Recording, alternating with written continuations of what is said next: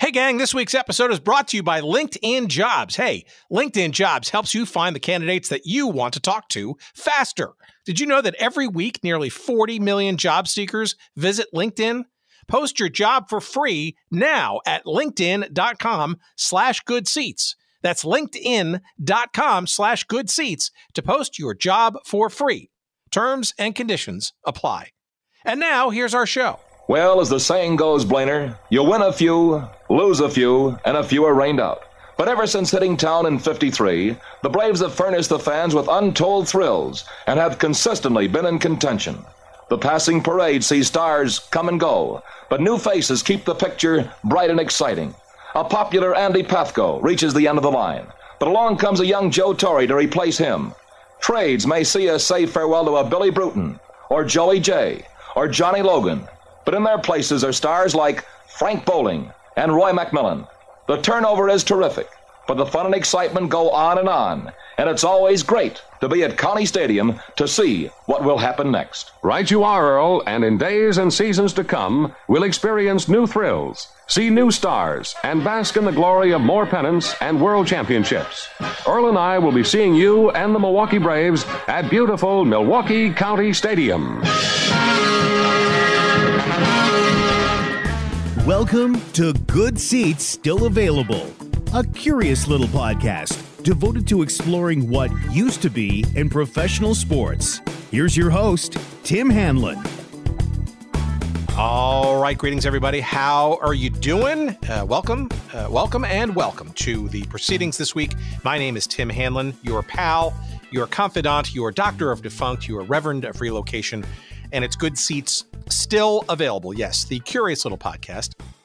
Not so little anymore. I, I'm just amazed at uh, just the uh, the breadth and the depth of the listenership from literally all over the world. Uh, and it's our exploration into what used to be in professional sports. Uh, our little tribe here uh, is, uh, you know, continually fascinated by all kinds of stories uh, about teams and leagues and, and situations in pro sports that uh, have come and gone for whatever various reasons. And we look for lots of different adjuncts, lots of different excuses to get into fascinating conversations. And this week is absolutely no exception. So uh, let's uh, let's set the table, shall we? Okay. So the clip there from it's about the Milwaukee Braves. Yes, it's a, that's a topic, and that's our entree.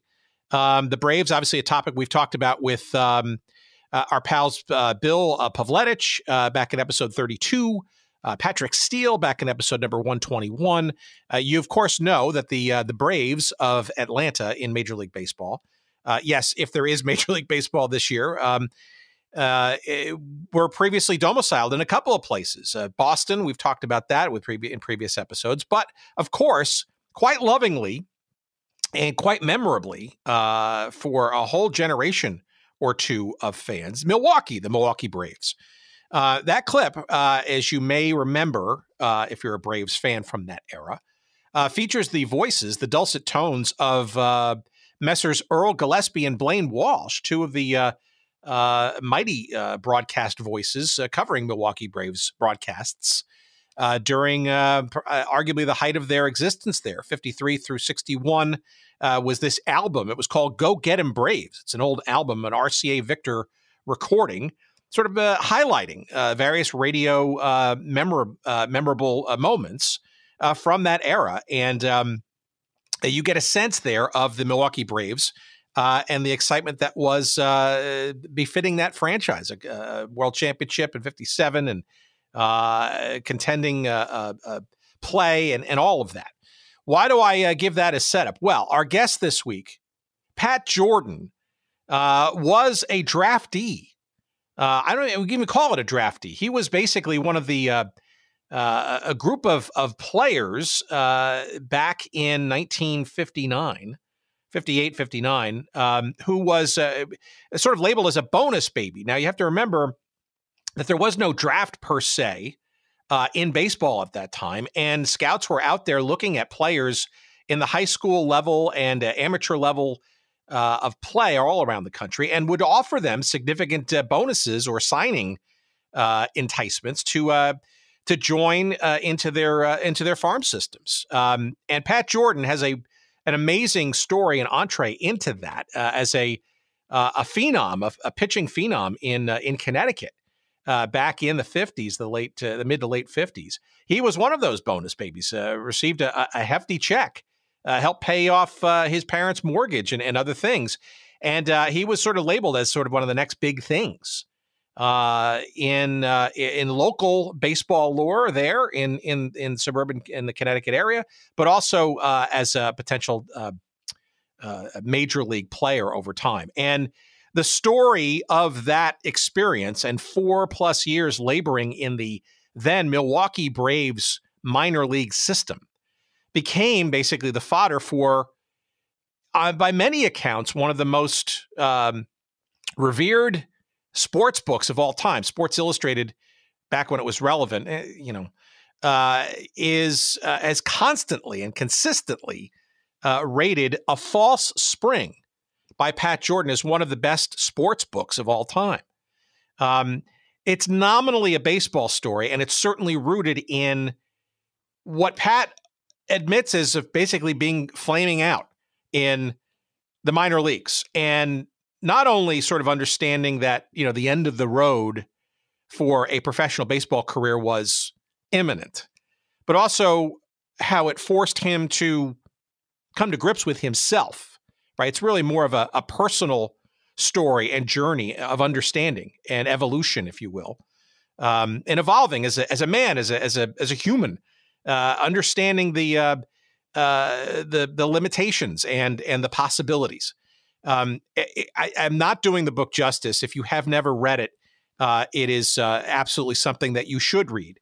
Uh, and we are ecstatic to have Pat Jordan here to talk about not only that story, um, but what came after that story, which was hugely enlightening to me because Pat essentially went on as that book, A False Spring, kind of hints, to be a prolific writer, but mostly in the genre of sports, but frankly, broadly as well. Uh, a, persistent uh, member of best of lists, uh, especially in long form magazine writing, when magazine writing was a thing.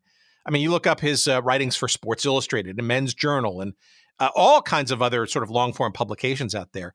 Uh, it, you will uh, uh, uh, be amazed at not only the the brusque, direct, rough around the edges writing style. Um, and you'll hear it in, in Pat's voice, right? Quite irascible still at 80 years old and, and then some, 80 years young, frankly. Um, just a, a, a one of uh, I would argue America's uh, uh, uh best and um, uh, most insightful. Uh, let's call him sports writer, but I would argue that's maybe underselling because it's it's far broader and bigger in terms of his insight than just quote unquote sports. But this is a, a, a, an amazing conversation. We bounce all over the place, but you will be rewarded by sticking with it because uh, in no particular order, we're going to talk about things and people and places uh, like like Tom Seaver, for example. A brand new book came out just a year and a half ago, I think, which is new enough for us. Um, a, a, lifelong uh, relationship with Tom Seaver. The book is called Tom Seaver and Me. Um, is uh, uh, uh, makes an appearance in this conversation. Joan Joyce, a, a legendary softball player uh, helped co-found the uh, Women's Professional Softball League with uh, one of our former guests, the late great Dennis Murphy, back in the ni- in 1976, and still coaching softball today. I think at, uh, down at the University of South Florida, USF, if I'm not mistaken. Um, certainly, Milwaukee Braves uh, players uh, will be uh, discussed. Ted Kluszewski uh, in the mix there. Joe Torre makes an appearance. Um, a lot of women's sports stuff. Mary Jo Peppler, Plepler, if uh, you remember that name from our conversations around the International Volleyball Association. She also the winner of the Women's Superstars. Um, uh, uh Pat's got some opinions about Wilt Chamberlain, a, a topic and a person that we've uh, gone quite deeply into previously. We talk about Renee Richards and and Mike Veeck. Uh, the son of Bill Veeck and and Charlie Sheen and Ila Borders and we, uh, it's an amazing uh, just a, a phalanx of names and stories and insight about sports and life in general. Um, it is uh, it's a it's a wondrous conversation. Uh, it's not just about a false spring, the book that you must read about his uh, travails in the minor leagues of the of the then Milwaukee Braves, but just life in general and sports uh, as it applies to it. Uh, coming up with a uh, uh just a, a, a hair raising conversation with the great sports author extraordinaire Pat Jordan coming up in a few moments' time. You will enjoy this, trust me. Before we get there, let's say hello and. Um, uh, Doff, our, uh, uh, our flannel baseball cap in the general direction of one of our great sponsors. How about this week, Ebbets Field Flannels? I think that's appropriate. Uh, Ebbets.com. And remember, you spell Ebbets E B B E T S. So that's two B's, one T. E B B E T S dot com. Ebbets Field Flannels. Uh, if you don't know what Ebbets Field Flannels does, go to the website. You will your jaw will drop at the high level of quality and impressive authenticity around all kinds of sports uh, garb, uh, especially and uh, originally from uh, birthing now lots of different sports, but baseball. That's the the heart of it. Uh, EbbetsFieldFlannels.com.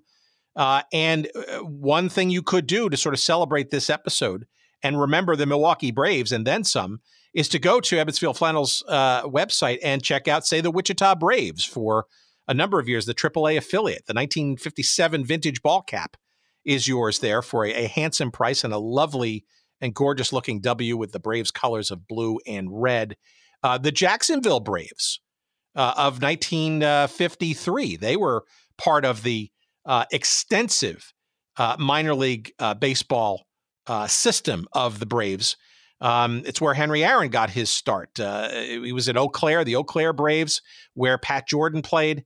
Uh, Jacksonville was, uh, I think, it was part of the the Class A um, uh, division, and um, uh, it just and there's a gorgeous, of course, uh, and I'm totally undersell this is the Milwaukee Braves 1957 authentic jacket.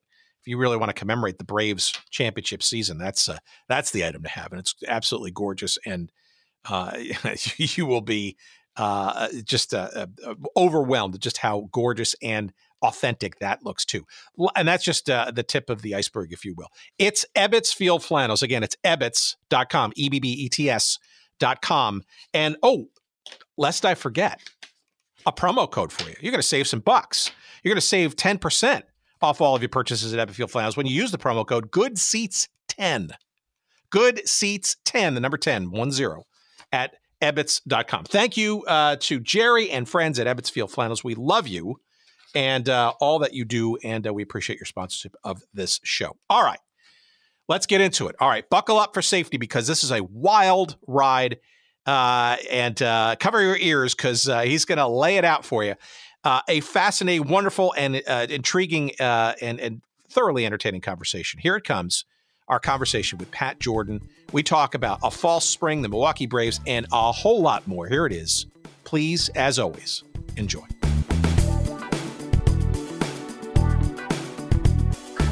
One of the problems for me doing sit down is um, uh, I talk, like even now talking to you, I walk around.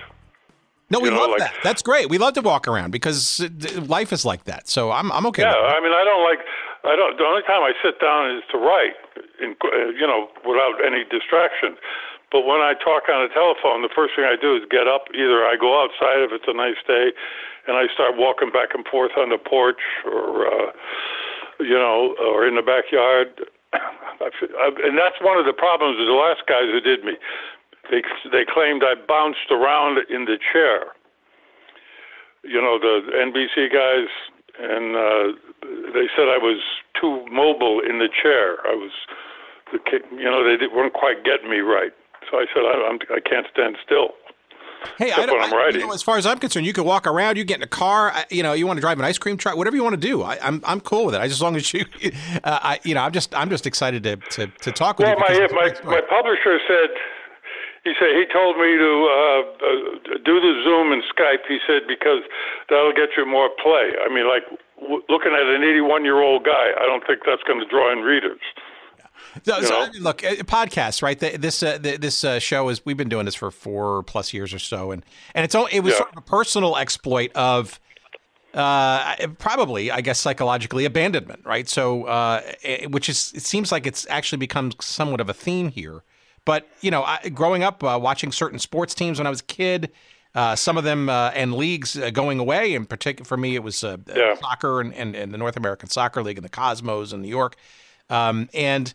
Uh, and then sort of stumbling onto like, well, this is kind of a thing. Like, uh, what is this Yeah. United States Football League and the World Yeah. Football League and on all that stuff? And you know, uh, open the door, and there's so many stories there that nobody seems to be Yeah. talking about or Well, remembering. there's a lot of sports.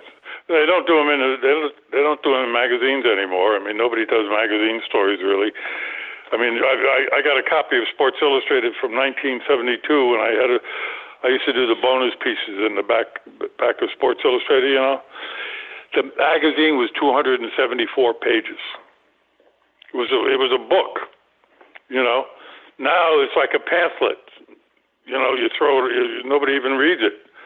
But when when I was doing it, I, they would tell, tell me, uh, your limit is 7,500 words for a, a, a profile. I'd write 8,500, 9,000, whatever.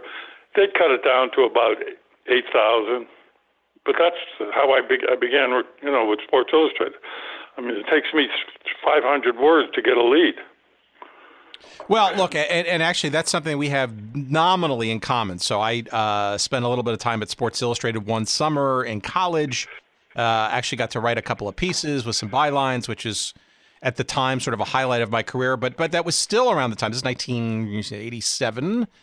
That was still yeah, it was still it was still a magazine, I think. Then Correct. 87. Yeah. Mark Mulvoy uh, was editor in chief at that time. Uh, um, uh, the late Bambi Wolf, uh, uh, uh, uh, wife of um, um, oh, I can't remember his name now. Uh, also Wolf. Uh, Yeah. You have a st- you had you had uh, things called fact checkers or reporters. They literally Oh, yeah. that was that was that was my job as an intern slash writer. Right? You had to you had to call call Right. Dodger Stadium to actually ascertain there was a thing called a Dodger dog because somebody wrote that Right. story. Well, uh, my first editor was Ray Cave, and uh, he was a big deal there. And uh, uh, Andre Laguerre was there. This is a funny story. I was only a kid. I was 30, but I just started writing. So I, I, I never met. A, you know, Ray was my man, and then the, the girl who took over afterwards was Pat Ryan, who who founded People. So Ray. Ray said, whatever you do when you walk down the halls, don't say hello to Andre Laguerre. Now, Andre Laguerre was a, a OSS guy in the Second World War. You know, the guy that they dropped it behind the enemy lines uh, from a plane. Yeah, a real old perfect, warrior. Perfect for a Sports Illustrated uh, employee. Right, and, and his name was Laguerre, the war. So anyway, he's a grouchy old guy. Nobody talked to him. So I'm walking down the hallway one day with all these offices left and right, and Andre's coming right towards me. So I go, "Hey, Andre, how are you?" He said, "Hey, Pat. Hey, I really like that story about blah blah blah that you did uh, last month." He said, "We got to get you're on something now. We got to get you on something again." I said, "Oh, I'm going in to see Ray. He's going to get me." So he said, "Good. I'll talk to him afterward." So I go, and all the people's heads were coming out of the office doors. Who was talking to Andre Laguerre? Because nobody would talk to him. They were terrified of him. And uh, when I told Ray, he said, "Oh, I told you not to talk." I said, "We had a nice conversation." And then he told me, "Well, there's one thing you can never do: never present an idea for on a on a train." I said, "A railroad train." He hates them. I said, "Why?" He said, "Because you used to blow them up in the Second World War."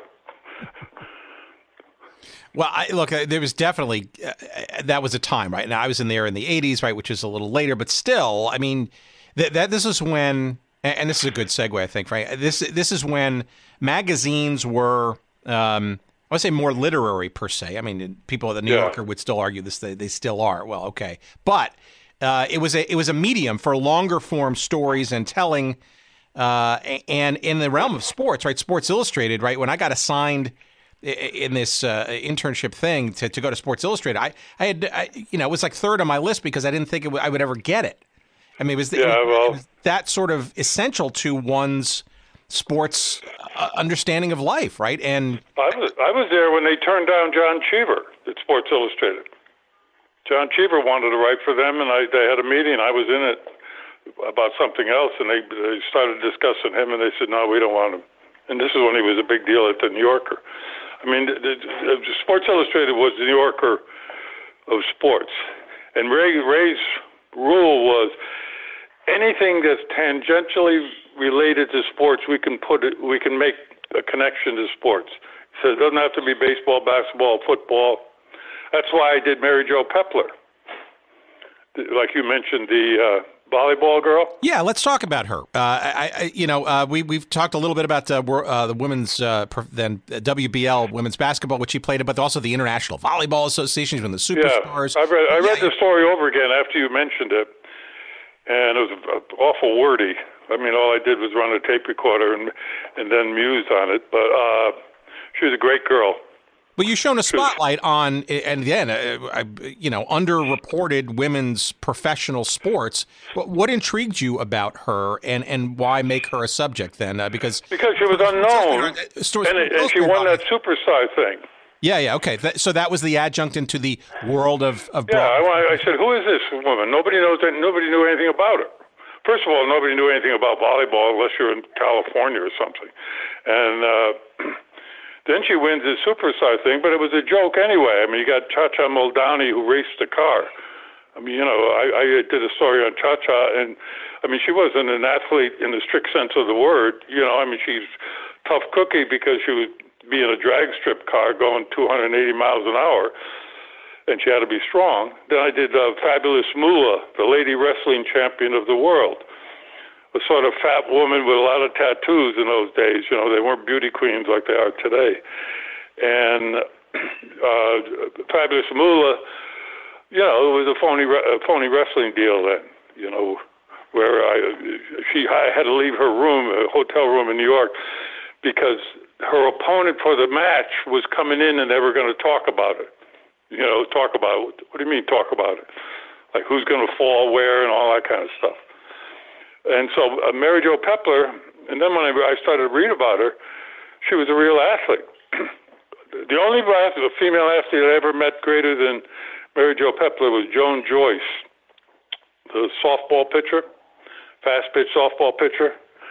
And she lived in Waterbury, and I lived in Fairfield when I signed my bonus with the Braves and she came down to a uh, signing of a, a at a sports sporting goods store, and I th- I was asked to sign stuff there too. I was 18 years old, so I'm in there, and there's this broad with a shirtwaist dress on, and she's got a glove in her hand. She's pounding a ball into it, and I said, "Who's who's that?" She said, "Oh, that's the other great pitcher out of Connecticut, Joan Joyce."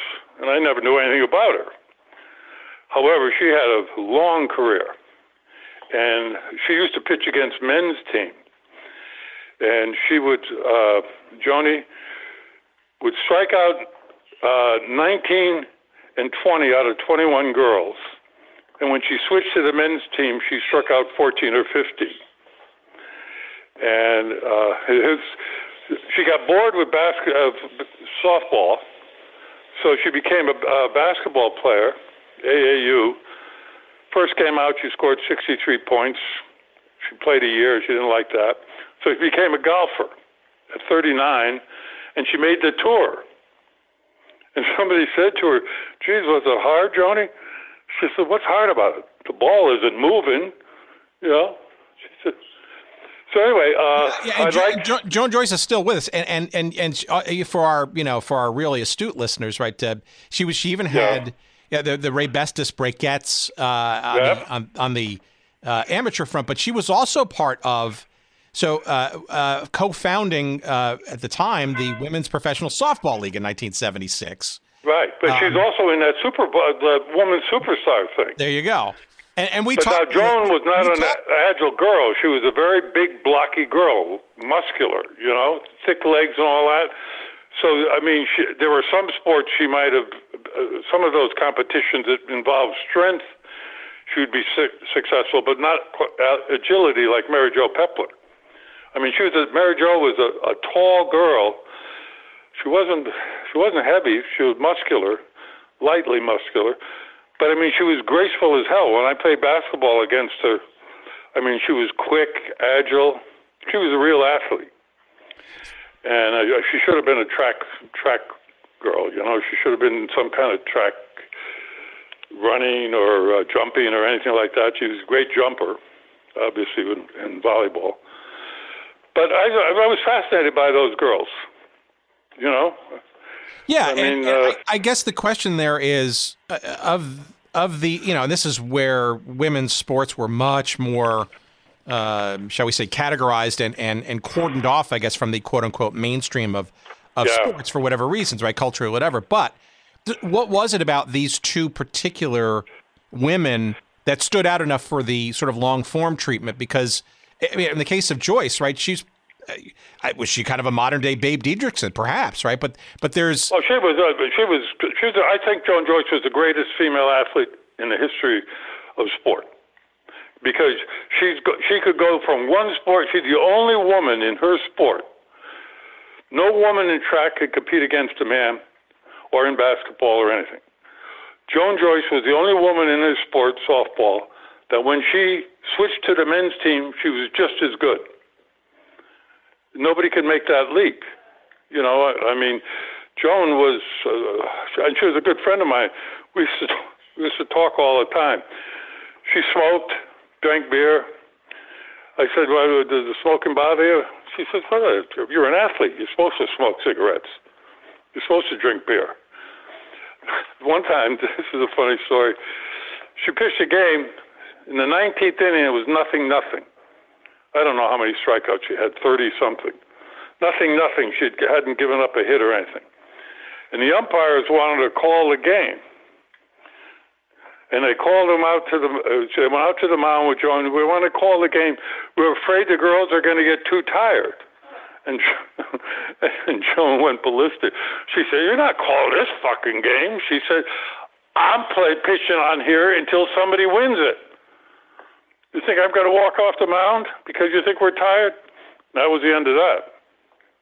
Well, I, I love that because I mean she's uh, uh if, according to my notes she's still the softball coach at uh, Florida Atlantic University and and and yeah I was there going when I pitched in Waterbury she was the one who gave me a pep talk before I went up there I was going to her hometown Waterbury and uh, this was when I was 56 uh, oh, uh, a nice Tuesday I wrote that book about it uh, pitching in Double A up there, and I was really nervous about it.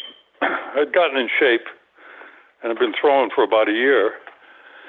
But I've, I've, the only one who would know was Joan because there's only two people, two pitchers I ever talked to that I thought were real pitchers. And that was Tom Seaver and uh, who could articulate what they did, and Joan Joyce. If Joan Joyce had ever met Tom Seaver, they would have been like looking in the mirror you know, they were both identically devoted to what they were doing, thought about it, disciplined, organized, all that. So I figured I'll talk to her. So I go down there.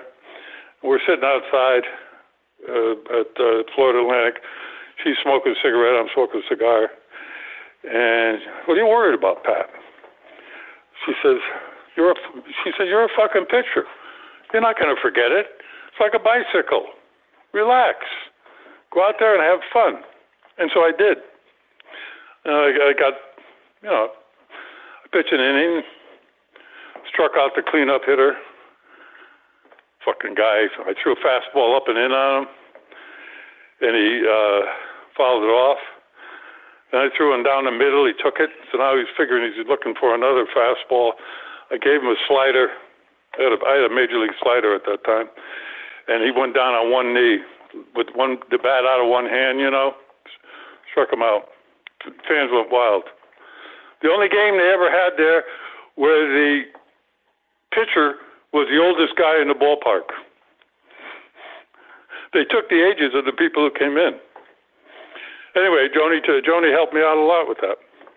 All right, well, I digress. What no, else no, you want? No, no digression there, because actually it's a pretty good segue maybe to kind of the, the beginnings of this. So you're hinting at it, and for those who uh, uh, don't know uh, Pat Jordan uh, from his uh, uh, just tome of of legendarily the, the, books of mine that are in the dustbin of sports history. no, it's we'll get to that. Don't worry, it's not. It's hardly that. Um, but I, I want to go to the origin story, right? Because you didn't, as you hinted, you know, with Sports Illustrated starting at 30, right? Seems like that seems a little ancient when you think about though, uh, however, the, the the prelude to that story, and and obviously that's sort of the the biggest underline for uh, our conversation uh, as a window into the rest Well- of it, right? But so just you didn't you were in high school, you were a phenom in baseball. Yeah, I got a, I got a fifty thousand dollar bonus with the Braves at a time when our our house was uh, uh, I lived in with my parents was a two uh, I think it was a ten thousand dollar house. You know, today it's like a half a million. So I got a fifty thousand dollar bonus. It was one of the biggest bonuses that year, and. uh And I'm sorry, let's back up. Where, where was this? This is in Connecticut, I'm assuming. And Yeah, Fairfield, Connecticut. how does this come about? You're, you're high school. You're, you're uh, when do you know you're really good, and and this is even in the realm of possibility for you? Eight fucking years old. I was the first eight-year-old ever to be on the little league varsity. At nine, I was the best pitcher in the league. At ten, people were coming from a hundred miles away to see me pitch. At eleven and twelve, the place would be packed. In my my last year of little league, I pitched six games, and I struck out every batter except two. So I I had two game, four games where I struck out 18 batters, which is six innings, little league, and two games where I struck out 17. And both of the other outs were bunt, att- bunt attempts. So uh, I pitched four consecutive no hitters. And then I go into high school. The first game I pitched as a freshman, I struck out 15 batters and uh, bro- uh, broke a state record. No, what am I saying? Not 15. I struck out 19, 19 out of 21. And uh, that night, a scout called me from uh, Cincinnati Reds, John. I can't remember his name, an old timer, and he offered me twenty thousand dollars over the phone. At what age? I thought I was 15, 14, 14, 15. I just turned playing for the, playing for the, the, the, the Jesuit order at Fairfield Prep. He, he found you. Right, right. I was uh, I was 14. I just turned 15, and he offered me twenty thousand dollars. I said, but I'm only a freshman. And he says, uh, or sophomore, I'm freshman or sophomore. He says, uh, oh God, don't tell anybody I offered this money. I could get fired because you know that would be tampering for. You weren't supposed to. He thought I was a senior. So, uh, and I had uh, two really good, two or three really good years at prep. Then my last year, I was just, I was, you know, I was just really good, but not as good as I had been as a junior and a sophomore. Uh, I had, uh, they didn't, I never told anybody, but I got in a fight with a kid in, in class at prep fucking guy was always on my case. He was a football player, and he he was always saying I was a coward because they wanted me to play quarterback for prep.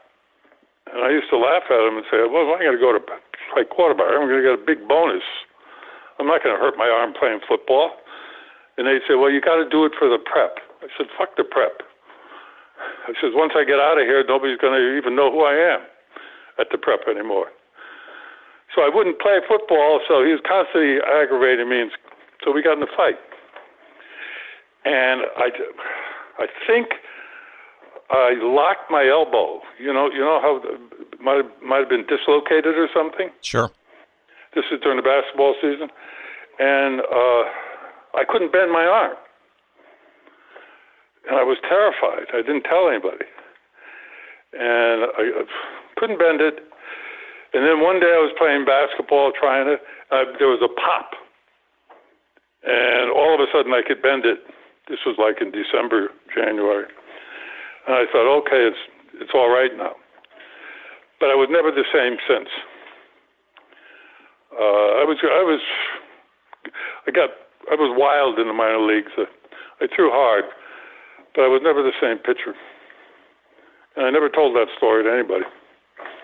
Well, breaking news all these years. Well, but that doesn't that doesn't though prevent you from still being scouted and uh, essentially recruited, right? Sure, yeah. I mean, I was still striking out 14 guys a game, but I struck out 19 the first game I ever pitched. Well, so you're becoming a mere mortal now versus sort of. Yeah, I was a mere great mortal. You know, I mean, uh, there was another kid who was just as good as me, Johnny Papa. He might have been better. Uh, he signed with the Orioles for about forty, fifty thousand. Uh, he, he, good kid, and, and Papa was uh, not Pappas, Papa. Not not, not like uh, the Baltimore Oriole pitcher, although Johnny Papa did play with the uh, Orioles for one game. uh, we pitched a game. There were 10,000 people in the stands in a high school game. He was a senior. I was a junior. I beat him one nothing in eight innings, but he pitched a better game. He lost it on. A, he lost the game on an error. He struck out 14. I only struck out 10. And uh, he, had a good fastball, straight as a string. Johnny Papa's story. I remember all this shit. When you get old, you can't remember what you had for breakfast. I love you remember it. the past. I keep going. I love it. So uh, anyway, so uh, what the hell? See, I just forgot what I was going to tell you. Well, that's right. Johnny Well, let me let me listen. So I, oh, I know. Uh, uh, Ted Kluszewski. He, he he goes to the big leagues. They bring him in as a relief pitcher. No, he's got BBs. Ted Kluszewski's an old man. His muscles are getting a little fat. You know, he's getting fat. He's an old man. So the, I don't know who the man. I think it was uh, Weaver, Earl Weaver. Told him. He said, "Don't do anything but throw this guy high fastballs. He can't get around anymore." So Johnny gets two strikes on him, and he wants to prove he's a pitcher. So he throws him a straight changeup. Kluszewski puts it out into, I think it went into Delaware, someplace, you know. And the next that night, Johnny was back on the train to Rochester. Uh, but I could understand it. You know, when you're a fastball pitcher, you go to the big leagues. They, they all murder fastballs. No, they don't. They murder half-assed fastballs, but they don't murder good fastballs. So anyway, why don't you? Well, that's okay. Well, that that speaks volumes, I guess, about the the uh, the nuances of what makes a decent pitcher or or a good pitcher versus a, a great one.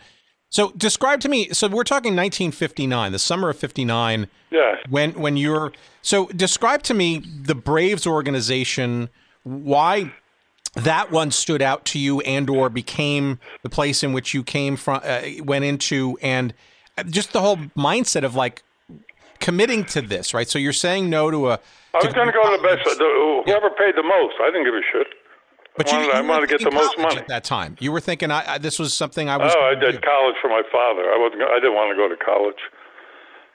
Uh, you know, I, I wouldn't. I went a half a year for, uh, I think, four years. It took me like eight years to get out of college because uh, I went full time after I got out of baseball. But I, um,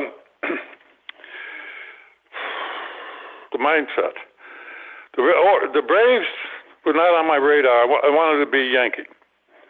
Number one, I'm Italian.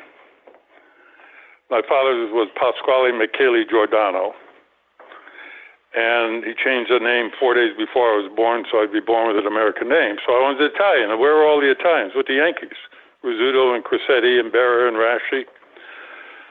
So they were our team, and they offered me thirty-six thousand, and we were very disappointed. And you know, because I basically this was going to be the money that was going to protect me in case I didn't make the big leagues. I would at least have a bankroll. So we got more with the Braves, so that's who I signed with. And it, was a, it wasn't a bad organization, but it was very southern. A lot of redneck guys didn't like northern guys. Like I had a manager, Billy Smith. I think he's from South Carolina, where I happen to be living now. And he didn't like the Dago, he said. So uh, one year I was supposed to go with his team at Boise, and Boise was notorious for the light air, and pitchers would have earned run averages of like six and win 18 games. And they were going to send me there because they figured uh, I, you know, with my fastball, a light air wouldn't be bad. If you were a curveball pitcher, you were in trouble at Boise. But if you're a fastball pitcher, the light air is to not going to affect it. But uh, at the last minute, uh, Smith didn't want me. He said he had Joe Torre was going to be the catcher, and I had a squabble with Torre in uh, batting practice one day, and it was a pain in the ass. He had he had the clout from having his brother Frank be with the team, you know. So in the minor leagues, he had the can't uh, can't miss thing. I had nobody in my corner, and Joe and Joe had a lot of people in his corner. So anyway, we got an argument. Naturally, ended up my fault. And so Smith says at a meeting, he said, "I'm not going to have that red ass guinea, red ass guinea on my team." I thought he meant Torre, and I found out he meant me. So I go to Davenport, the worst team in the Braves organization, and pitched great ended up six and twelve. But I led the whole Braves organization in strikeouts. So, uh, and next year they tried to change my motion so I could throw the ball over the plate, and I got all fucked up. And that's why I became a writer. Okay, well let's let's let's unpack a little bit of that. So uh, you're playing uh, in you're assigned in the minors uh, for uh, the bulk or the entirety, pretty much, of your your pro career. I'm assuming though you're getting looks anew every season in spring training, though, right? Uh, yeah, the first year I went to spring training with the uh, the Braves. Actually, I was uh, it was spring training in, in Bradenton, and I was. Uh, you know, I pitched. I pitched well in the Nebraska State League. I mean, Jim Bouton was there, a couple other guys who went on to the big leagues, and I pitched better than them. Like I had more strikeouts, better ERA, less hits. I used to I gave up like six hits a game, struck out ten, but I walked eight, and Jimmy didn't walk anybody. Uh, but uh, so I, I had a good year, good enough. It was a rookie league, but it was a good rookie league with a lot of bonus babies. And uh, so I go to uh, spring training. I pitch one, I think it was one inning, inter squad game against a big league club, and I pulled a Johnny Papa, but I did it before Johnny Papa. They were trying to teach me a changeup in spring training.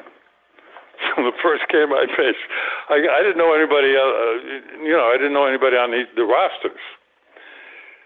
And one of these guys was a AAA guy, veteran AAA guy, like he's 30 years old, left-hander. And he just got into camp, second day. So to show the Braves I was a pitcher, I pulled a Johnny Papa. I got two strikes on him. I threw him a changeup. He hit a home run. So that was that was my uh, spring training performance. Um, remind me or uh, or educate me. There, there's no draft to get you into the Braves. You're kind of being solicited, and you made a choice. Is that how it was working back in the late night? Yeah, there were no drafts in those days. The day you graduate high school, there's 16 cars parked in front of your house. 16 scouts sitting on sitting on the hood of their car, smoking cigarettes, waiting for their turn. That would be it'd be like a, a cafeteria. One comes in, goes down the line, talks to my brother, father, mother, not me. They didn't even talk to me. And uh, then they're out the door after they make the offer. And then you pick the five best offers and you go to the ballparks. Yankees, Cincinnati. I went to Milwaukee.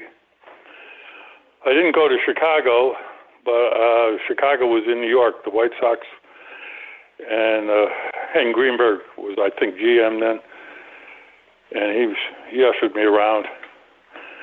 he was telling me what a great bunch of guys they were, and he had this guy, this redneck Southerner, in the locker room, Barry Lashman, I think it was, and then uh, Lashman, I think it was, a real redneck from South Carolina or someplace, and they had a, a Levy, a, it was the name, a pitcher uh, the Jewish pitcher on the team. Uh, I forgot who it was, which was rare.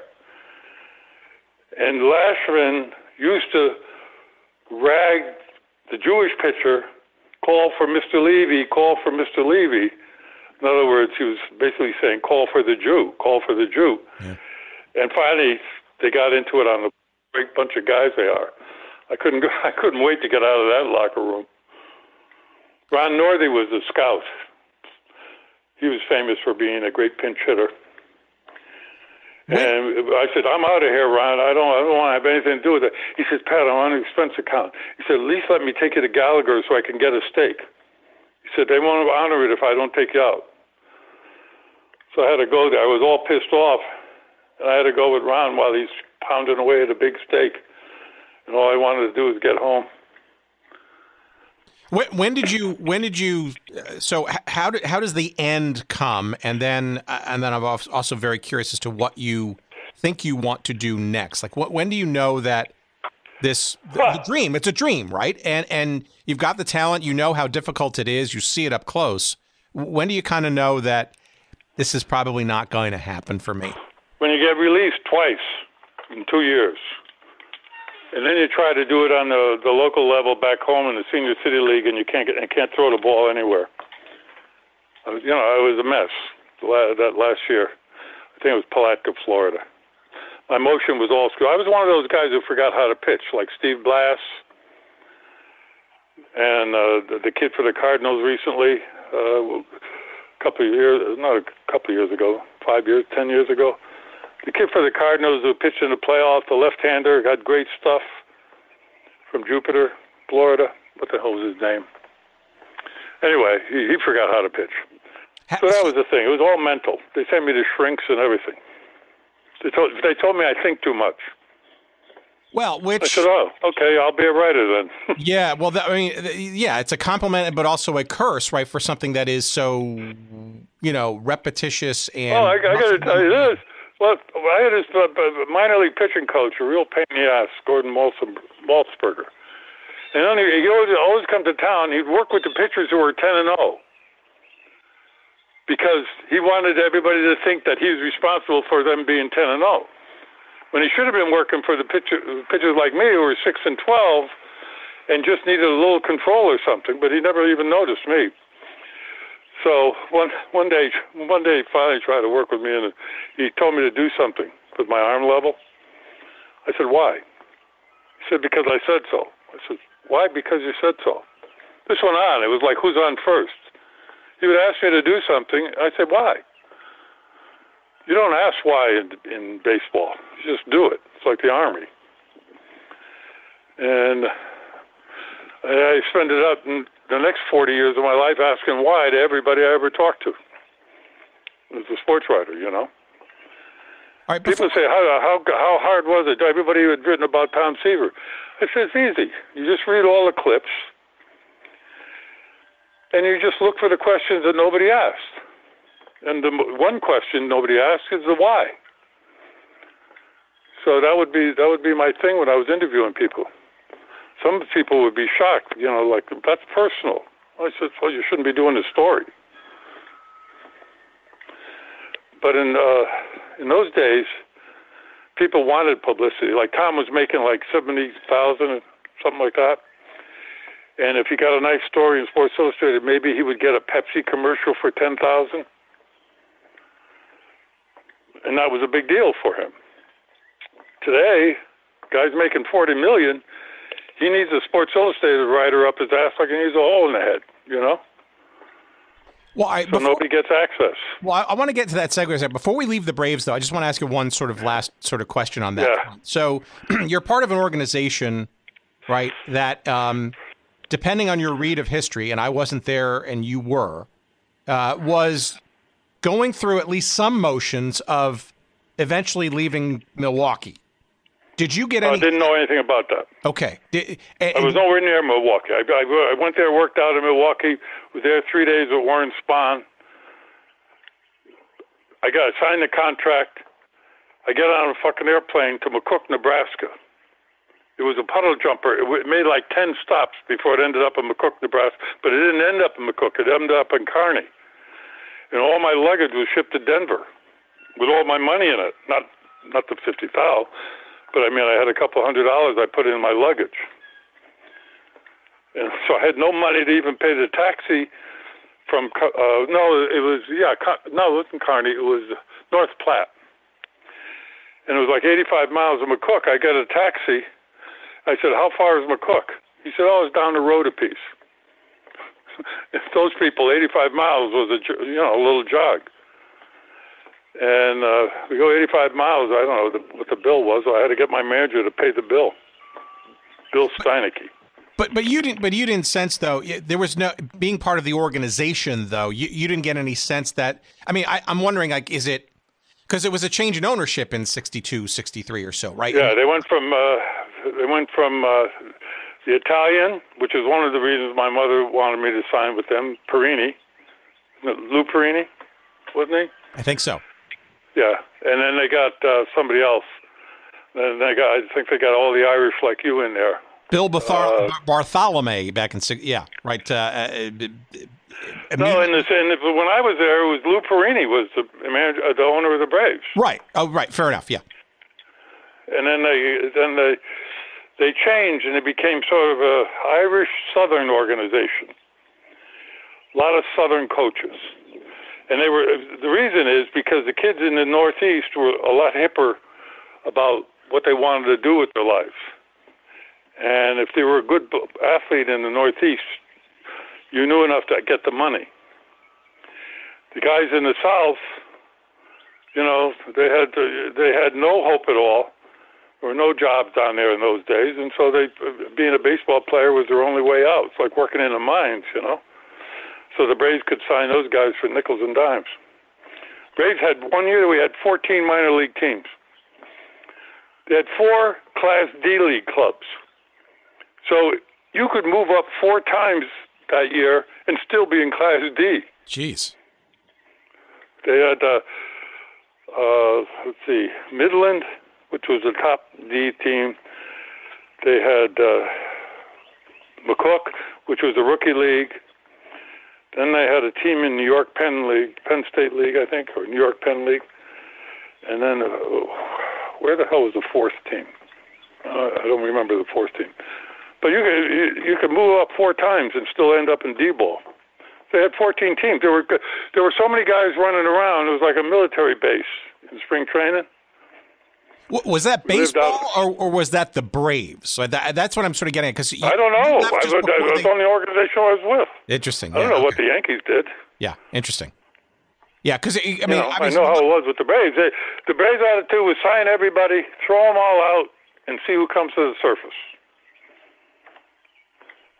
You know, I mean, spring training was a mob. I, mean, we would we were in uh, Waycross, Georgia. It was a, a military base that they turned into, you know, Quonset huts and all.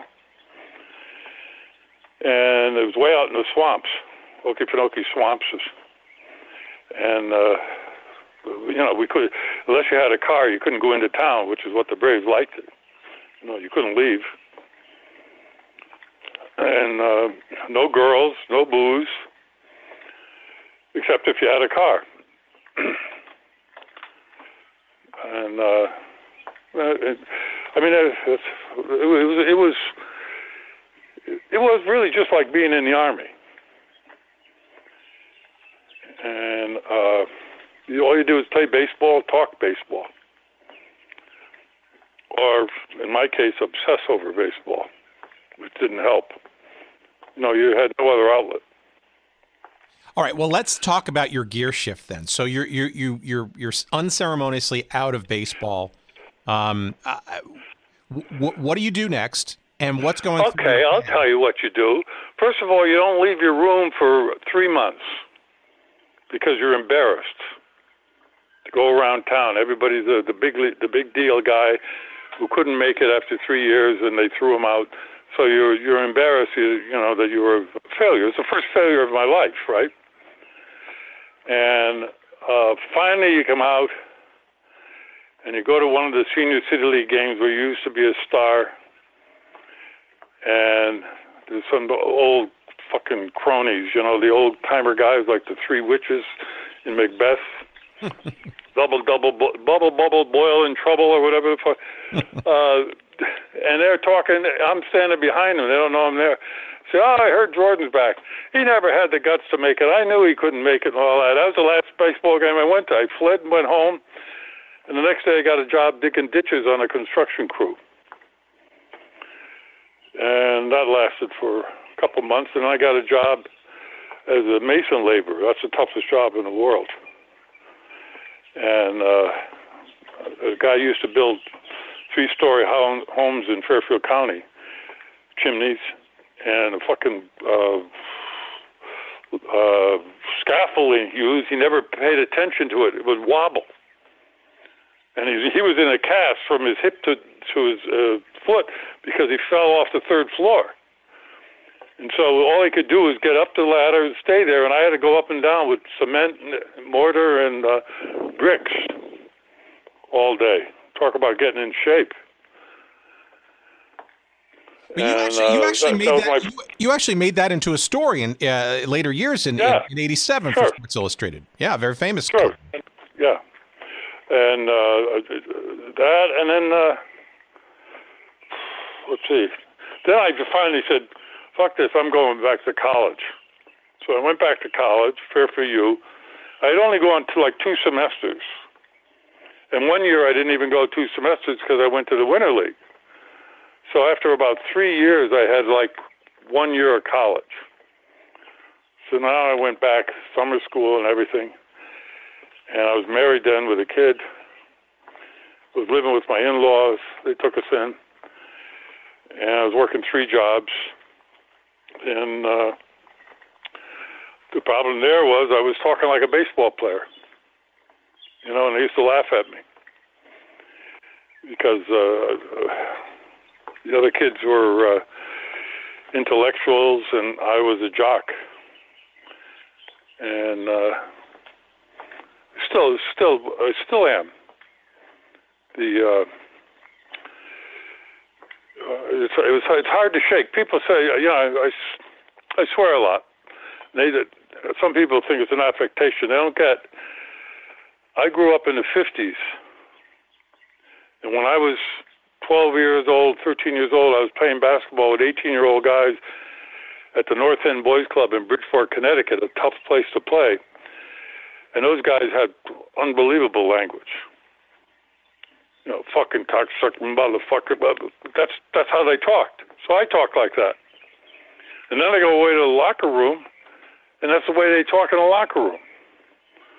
So by the time I'm 22, I don't know how to talk like a civilized human being, you know. And uh, I never, I never did shake it because I never worked for anybody, so I don't have to learn how to talk like a civilized human being. I mean, even today in this town I live in, this uh, Abbeville, where everybody's so polite and precious, they think I'm from Mars. Well, but okay, so, but, but, before before you uh, before we have to rescue you from the depths of, of despair here, let, let let's let's. Oh, no, I'm I'm thrilled. I never I never had to be anything but what I wanted to be because I've only worked for myself. Okay. I was a baseball player for myself, and then I 63 I started to write. Okay, so how then do you make that adjustment? Because it's not like you could just snap your finger and become arguably a prolific and very uh, uh, monumentally insightful writer, especially when it comes to sports. Okay. I did it the way I approached baseball. I got every magazine on the planet, every newspaper, read every book review, Saturday Review, everything. Went through it with a red pencil underlining how writers did things, how they created a scene, how they dialogue, how they did this, how they did that. I read Hemingway, all, everything. Hemingway I love because he, you know, he's the first 20th century writer. He's the first guy to say less is more. Uh, up until that point, more is more. And uh, I mean, you know, he was mannered over the years and it became a, a tickle with him. You know, sort of like a the guy David Mamet writes the plays. Well, oh, we got to do the thing here. You know, who's going to get the thing because this thing's got to work. And uh, but I, that's how I did it. I approached it like that. And then I sent stories cold. you know, I found a lighthouse keeper, a woman lighthouse keeper, who had. Uh, this is a great fucking story. Uh, she she was a daughter of the lighthouse keeper, old maid. They lived in the lighthouse, uh, right on the point in Bridgeport. And he died, but she never bothered to tell anybody. And she put him in the basement, buried him in the basement, which was always cold. And she was the lighthouse keeper. But since nobody ever saw the lighthouse keeper, all the lighthouse keeper do is put the lights on and off. They never knew it. And then when she died, the lights went out, and then they discovered the old man's body. Great story. Anyway, I sold it to some New England magazine for like seventy-five dollars. And you you have no connections. You're doing this all cold. What gave you the balls, shall we say, to, to say that hey, I, I, I could actually I can write and get published and I didn't. good at this. I, I, I used to, I didn't know whether I could write, but I knew I had. I did everything I could possibly to learn how to write, and uh, I started doing this book about my baseball career with the Braves, and the, the, the days of wine and bonuses, I called it, because the days of wine and roses was had just been a movie with uh, Jack Lemmon. Jack Lemmon and uh, oh, I don't know who the girl was. Anyway, uh, about alcoholics. So I said the day of wine and bonuses. Wine had nothing to do with my career. So anyway, uh, I wrote it, sent it to Sports Illustrated. Ray Cave got it. He called me up, and said, "Come on in. I'd like to talk to you." This is 1968, seven. Sounds right. So he calls me in. I think he's going to buy the book. So he talks to me, and he said, "This is this is not it. You, you're not doing it." He said, "You're self pitying," which I have a tendency for it anyway. He said, "You're being self pitying." He said, "You got to get more distance from it." He says, "Come back to it in two years." He said, "Here's a check, four hundred dollars. Whenever you write the book again, the four hundred dollars is just to give it. Is just that you have to show it to us before you show it to anybody else." So I began to write. And I kept writing and writing and writing. I didn't get back to the book until about 68, 69. I was almost, let's see, I was 28. And I think I finished the book when I early 70s. And I discovered the Braves didn't ruin my career. I did. And that's the book I wrote. And uh, the problem with that book was it came out after Jim Bouton's Ball Four. So now the the the, the press was, oh, another washed-up pitcher wants to write a book about baseball. Now, I'm sure you read a Ball Four, right? Sure, of course. What does Ball Four have to do with a false spring? No, they're com- they're, they're, they're completely different, right? And and and right. And, and there's a reason why false spring actually shows up on some of the best baseball, if not sports books of all time, alongside Ball Four, but that they are completely different stories and different. I know it, and and, and so the word was I was supposed to book. I was Book of the Month Club was going to make me a major selection, but they had uh, t- taken Roger Kahn book Boys of Summer as a major selection, which was an eighty thousand, eighty-eight thousand dollar deal, which is a lot of money in those days, seventy-two. And Kahn's book was the worst. No, it was the Dodgers book. Yeah, the, the, that days, the Boys of Summer. Is that his first book? Uh, yes, I believe so. But yeah, I mean, there's some stuff that was prior to that. Well, anyway, he did. He did the book tanked, so they said never a baseball book again. So now I got two things going against me. Kahn's book tanked for uh, for a Book of the Month Club, and Jim Bouton wrote the baseball book about a pitcher. So why read a, a book about a minor league pitcher who never made it? So that was uh, that was my opening salvo to my career. But but but you do have the ear of the the New Yorker of sports, right? In Sports Illustrated. So I'm su- I'm assuming that Ray. No money. Okay, oh, fair enough. But but but it's still you're on some radar of influence and importance even before this. I didn't think of it that way. Okay. I didn't think about it that way. I always wanted to write books. and uh, I've been writing magazine stories so long I could do it in my sleep. The worst thing I'm ever going to write is a B plus story. So you know, I used to get hired all the time. Uh, and you were you were freelancing everywhere, right? Oh, always freelancing. Sports Illustrated offered me twenty thousand dollars a year in 1971 or two, and ten thousand dollars expenses. That if you don't use it as expenses, you can keep the leftover. And most of the guys were living off the ten thousand dollars expenses in '72. So I said, "Well, what's what's the what's the setback? Do I have to come into the office?" They said, "Yeah." And I lived in Connecticut, an hour ride on a train. I said, oh, no, no, no. I said, it's not, it's not the hour. I said, I'm not good around people. I, I said, I'll, I'll get fired or I'll get in a fight. I said, you don't want me in the office. I said, I'll, I'll come in one or two times a week. So they capitulated. All right, I can come in one or two times a week. And I said, anything else? He said, yeah, we own everything you write. I said, whoa. You mean I don't have any control over what I write? They said, yeah, Time Time Life owns it. That was a deal breaker. I never I never worked for anybody. The, the only I almost worked for them. I would have been a millionaire today, and multi, and I refused to do it. So everything I write is right is mine. You don't like it? give it back to me. I'll sell it to somebody else. Right, and my own agent. Never had an agent. But you have your voice, right? And and I don't think something yeah. I don't think something like a false spring um, comes out and has the impact that it does, regardless of your your perception of its sales and and the timing of it and stuff, without that sort of fierce, independent, and unique sort of perspective, right? Versus it being, if shall we say, watered down or filtered in some other yeah. form. I, I know it. I mean, if I wrote for, for Sports Illustrated, they they published four episodes of, of, of False Spring, five, the most they ever ran of any author. In other words, when I was writing a False Spring, it was like Dickens. Every every, every time I finished a, a large chunk, they would publish it, and it was the most they ever had.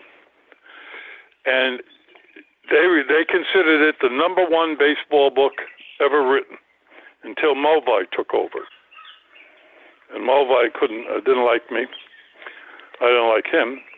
And all of a sudden, I'm the 131st best baseball look book in Sports Illustrated history, which is bullshit.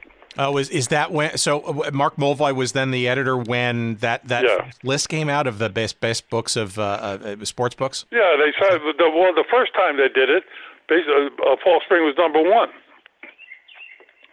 They didn't like uh, Bouton's book that much. Uh, uh, you know, and then it's kept dropping every year. Bill James's extract. What is that a book? what is it? I mean, are there people in it? Is there is there tension? Is there uh, you know what I mean? I'm I'm talking about books. And uh, and besides, Bouton didn't write all four. Uh, Leonard Shecter did. Right, right, right. You know, you know that? Yeah, yeah, yeah. Yeah, indeed. We we had. Yeah, yeah he did the whole book. Yeah, yeah. So, all right. Why do you think Bob never wrote another book? Leonard died. Yeah, but he did have that sitcom for a couple of episodes.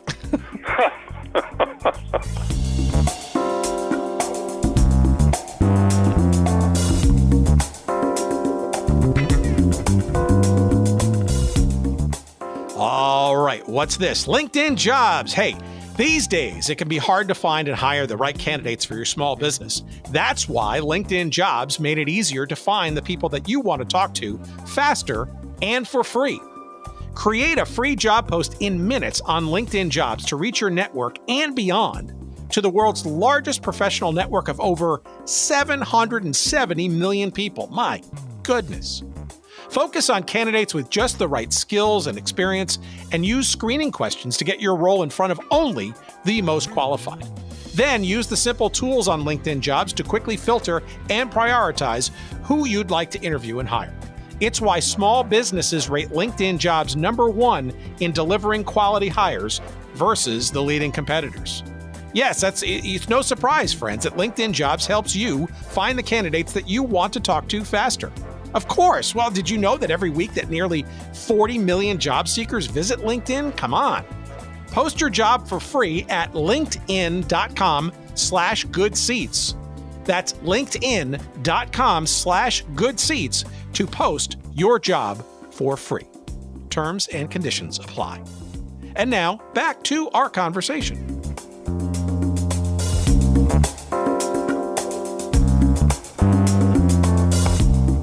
Fall Spring comes out in what, 73? Something like that. Okay. So what was, what was, okay. First of all, number one, this is your first. I'm on a Today Show. Right. This is your first, First book, all. right? Yeah. Okay. No, the second book. Second book. First Okay. book was uh, actually it was the third book I think. The first book was Black Coach.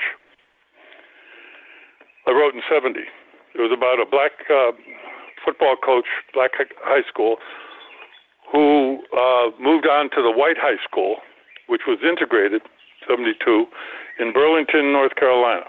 His name was Jerome Evans. Great guy. Died young of a heart attack. And uh, a life guy went down there to do a book, do the book, and he came back said he he was looking for Ku Klux Klan marches and crosses being burned on the lawn, right? That was his idea of the book, and there wasn't any of that. it happened very, you know, it was very fluid uh, changeover from Jerome Evans as the football coach to the white redneck guy who moved to another town. And uh, so I go there for a weekend. I said, "It's a great story. All these people, you know, it's it's interwoven. You know, it was a it was a real story. It was like uh uh, not to kill a mockingbird. That's a kid's book, but uh, the other one uh, with the with the reindeer, with the deer and the kid. Uh, what the fuck is that? I'm sorry, I don't remember. Susie knows. The Yearling. The Yearling. Oh, sure, sure, sure. all about characters and, and, and people. There are some great characters on there. So I wrote a book about all the people who were involved with this big experiment. And it was a good book, especially the first one. And uh, what else? You know, how much that book's worth a thousand dollars now if you can find it on. Uh, Well, I want to talk about that. I want to talk about that aspect of it in a second. But but, but the yeah, reaction. I don't get any of the thousand though. well, I know that. Well, the, the reaction to a false spring though was what for you and for people who heard this story, right? You basically said, okay, it was essentially about you uh, more so than it was about the Braves. Braves had moved to Atlanta by that time, right? There's a different sort of sensibility. Yeah. Did, pe- Uh, wait a minute. Up to fifty-seven, they moved. Yeah, so what, what was the, fifty-nine. 50, what was the what, what's the reaction from baseball? And frankly, what's the reaction? I don't. I didn't have any reaction from baseball. I was out of baseball. I was. A, they knew me as a Sports Illustrated writer. A few guys read a False Spring. It's not a. It's not a baseball book. You know. Uh, I mean, it's a. It's a. You know what it is? What I patented it after. I used to see it forty times. It's the Last Picture Show. I used to go to the Last Picture Show five times a week to see how he did it. The mood, the ambiance, the, you know, the whole way he set it up, black and white. It was a black and white film, and I saw what he did. It was a, it was a nothing story, Last Picture Show, but it was a great story. So I thought of a False Spring as a baseball Last Picture Show. You know, the, where where the the times and the people were more important than any conflict or know, a lot of it wasn't a lot of people's but a lot of people didn't like me as a, as the character in the book, and I knew precisely what I was doing. I was presenting myself, warts and all, as if to say, "Here we all are." You know, like I was every man. I wasn't. I didn't. I used to make myself look worse. For example, at one point in a false spring, there were two or three guys were talking to some girls in McCook, Nebraska, where I was. I was 18, and uh, I thought I'd be the big smart guy, and I went over and I said to them, "Who are these cunts?"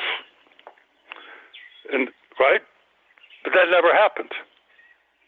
I went over and said to him, Who are these girls? But I wrote cunts in the book because I was an uncouth kid. And I wanted to I wanted to portray this kid as being somebody who was not that pleasant, which I wasn't. But it didn't bother me. You know, uh, uh, I wanted to I wanted to get it right.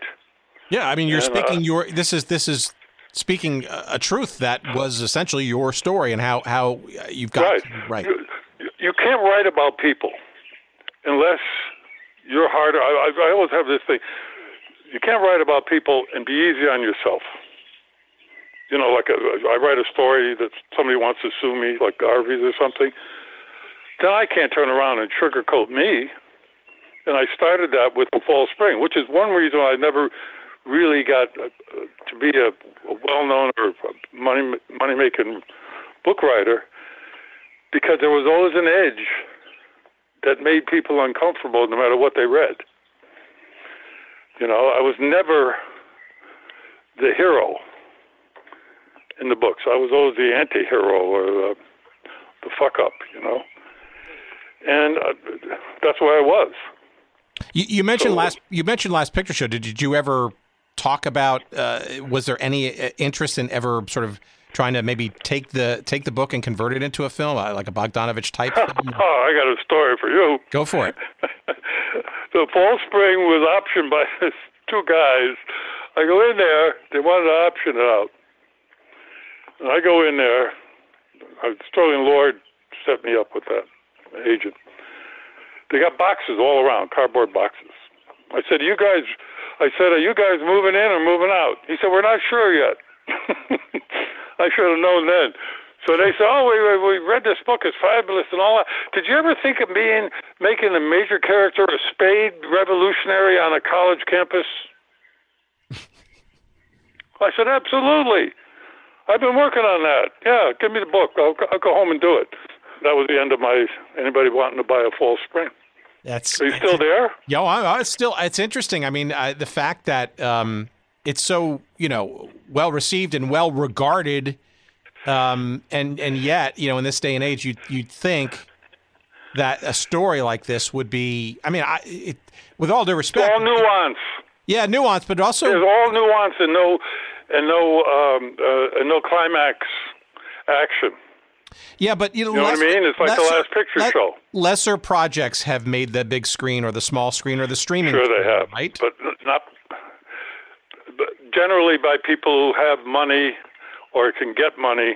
But a book like a False Spring is going to have to have somebody absolutely devoted to it, or somebody who has enough money to do it. And one of the problems was when False Spring came out, there was a little talk about it, but there were no actors. The Fonz, uh, uh, Richie Cunningham, those are the those are the young Hollywood actors. You know what I mean? Today, all the young actors are edgy, or the, over the last thirty years. You know, uh, they're edgy, and uh, even the, even the girl actresses are. You know, I mean, you, you see uh, 15, uh, 20 year old girls, 18 year old girls acting today. They're like tough, professional. You know, they don't they don't play cupcakes anymore. And but when you know when I when I did a false spring, everybody you know it was a Lou Gehrig story. You know, oh, how- what a great great guy he was. Uh, it's always it's always had to be a phony, uplifting sports story. Jackie yeah, Robinson. hagiography of sorts. Yeah. Yeah, and uh, Paul Spring was not that. So, so The reason Spring is, is staying around is because the, the mentality of people reading about sports or read, just reading it all changed to become edgier and edgier.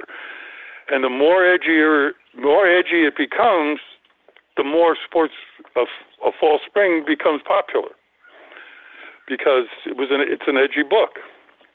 I mean, the Lou, does anybody watch the Lou Gehrig story anymore? Or uh, you know some of those schlock uh, how, about Babe, football? Ruth- how about the Babe Ruth story? Jeez. My God. Jesus Christ! I, I, what do hot dogs and uh, milk you used to drink. right. well, in essence, you know? in many respects, you were kind of ahead of your time in that in that sort of genre. Yeah, just, yeah. A, yeah. Well, let I'm me. Always, I'm always either, I'm always ahead of it. I once I once at the New York Times magazine. I had a contract, and they never let me do politics because I was conservative. You know, and uh, I moved to South Carolina ten years ago, eleven years ago. First thing I did is call them up. I want to do a story on Nikki Haley, governor of South Carolina. I said, Who's she? I said, She's a woman. She's a woman of color. She's an immigrant. And she's a conservative. I said, and she lives in South Carolina, where the good old boys hate her. Because as far as they were concerned, she was a black, an immigrant. The conservative was all right, but she was a real conservative. You know, I mean, thought out. They wouldn't let me go near her. I wanted to do her for years. Now she, now they're talking about her running for president. They'll do her now if the Republicans nominate her. But you know, yeah, I mean, ten years ago, there's something to be said for that. I mean, in, in that, so you know, I, I, have uh, I work in the sort of uh, media and tech space and stuff, yeah. and in the world of venture capital, right? It's you know, uh, being early in many respects is also looked upon as being, being wrong, right? And but yeah. but that that sort of nuance or that timing or that sort of spark of change outside that could change it, right? So it's it's it's um, sometimes it's it's luck and timing more than anything else. You mentioned it with with the debut of your book, right? Coming out uh, in the, the wake of, of a ball four and, and the miscon the the misinterpretation. Roger Kahn book, yeah. Exactly right. So they um, they killed me. Both of those books. They should, uh, they, Bouton's book killed me because he was a pitcher, and here I was, a minor league nobody who wrote a who wrote a, a book about a pitcher about the minor leagues. Who gives a shit? Kahn's book killed me because it was a big popular book supposedly, but who who would think there was going to be a big book about the Brooklyn Dodgers? And it wasn't. You know, I mean, I, I don't know whether he made any money off it, but but I mean, how many Dodger fans? Not L.A., but I mean Brooklyn. You know. Uh, so anyway. Uh, well, look, and that's why that, that's why we commend not only this book but but some of the other stuff. So, so let me, uh, and we could go forever on this, but let me let me ask you sort of one uh, sort. Of, let's maybe cul-de-sac this with. I want to get just touch upon. We don't have to go too deep, but a couple of uh, other works that sort of emanated uh, in the wake of all of that, which to me and our little genres like are really is fascinating yeah. stuff. Like so, for example, Broken Patterns, right? Which essentially oh, is, I love that. Well, that's a, so describe that. That's a, essentially like a collection of your of your work. Sports Illustrated pieces. That's when I got into my uh, do. See, I had a plan at Sports Illustrated. Uh, I knew what I was going to do. Number one, I was going to write about pitchers because I was the pitcher, so therefore I can talk to pitchers. You know. Then number two, I was just going to do baseball. They wanted me to be a baseball writer. I didn't want to go. I didn't want to do day by day games. Then I was going to do just sports in general. Then I was going to do women athletes because that's a that was going to catapult me out of the sports world into the the writing world of um, things that were not really tied to sport, like Mary Jo Peppler. You know what, you know what I mean? Willye White, uh, Fabulous Moolah, Cha Cha Muldowney, Joan Joyce. It was about women. And women were not seen as athletes in those days. So basically, I was writing profiles of women. All of them happened to be successful in some kind of sport, but not really successful like Joan Joyce never made any money, and uh, Mary Jo Peppler didn't. Uh, Cha Cha have made a couple of bucks. Fabulous Moolah, you know, she wasn't well known. So I wanted to show that I could write about things more complex than just sports. In some respects, so frankly, you were more ahead of your. You were again ahead ahead of your time, right? Because of course now, I was. Right. Now everything is a big deal. I I did uh, Venus Williams before anybody knew who she was for the New York Times. Devastating story about Richard. Richard Williams, the father. Go read it. Go pick it up. See if you can find it. Right. But but or, or frankly, you see the movie or the the, the, the King Richard. Oh, give, right? give me a break. Well, I know, but I mean, it's it's uh, this is this is why your stuff is intriguing to me, and I think our audience for a lot of different You reasons. can't do it. You can't do a movie uh, on a guy like Richard. Uh, He's, you know, he's not a good guy. So you know, so you want to do it. You, you know, the first words out of his mouth when he meets me was is we're in uh, West Palm Tennis Club where where he was working out the girls. Uh, Venus was like 14 or 15, and the other one was like 12. And uh, he comes up to me with the two girls, his wife, or Oracene, and he shakes my hand. He said, I, "Now don't get nervous being around so many black people." I look, I said, "I grew up in a neighborhood with black kids." What do you What do you mean? Don't be so nervous. Am I? You know, that was he's a con man. Uh, one, don't be so nervous about me. So I got pictures of me on the wall here when I was 15 years old in South Car- in South Carolina. They the guys come and they look and there there's me, 15, 16, playing basketball against four black guys, and it wasn't a black team. It was a, an inner city team that had uh, more black students than white students, and the black kids were better basketball players anyway.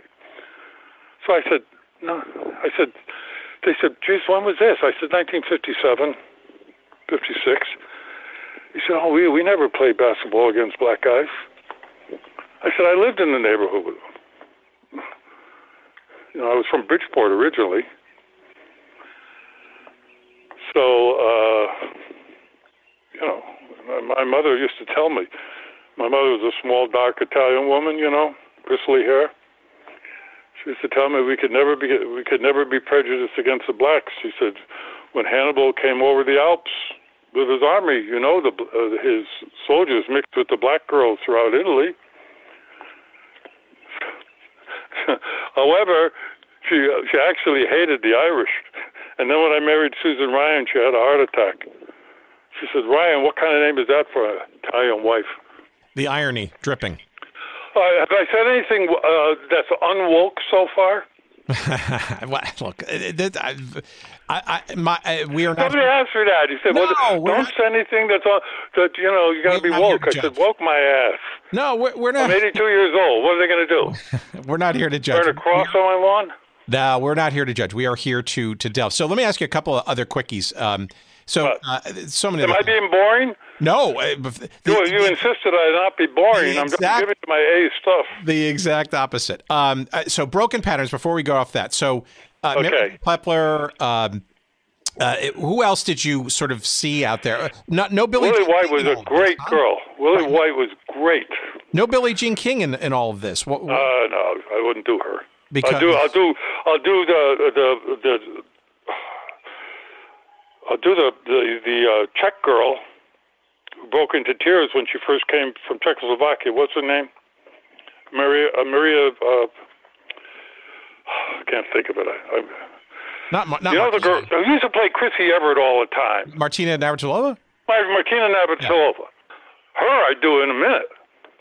because There's a there is a there is a real person. Billie Jean King. Give me a break. It's not a real person. You know, it's a, it's a it's an image. They were looking for somebody like her. Martina Martina should have been the most famous uh, athlete in the country, but she didn't have the right attitude. She was uh, well, she. I don't even know whether she was gay or not, but but the point is, she didn't. She, you know, Chrissy Everett. Now, Chrissy Everett was a was a very popular girl, but she could never be too popular. You know why? Because Chrissy Everett is a hard ass. And she, her father used to live right next door to us in Fort Lauderdale. And everybody said she was no cupcake. She was a tough cookie, Chrissy. And so uh, those kind of women don't become. I mean, Chrissy was fabulous well known, but she never did anything. I mean, uh, as an athlete, she did was great, but I mean, she never was like a idol like Billie Jean King. I mean, you know, uh, Billie Jean King was idolized as as what? I don't know. Well, she she became so much. She became many more things. Uh, people put a lot of sort That's of what I mean. on her back, right? To uh, Right. right. Chrissy, Chrissy was a tennis player, and uh, Martina was a tennis player. They were the greatest. I don't know. No, they were not personalities.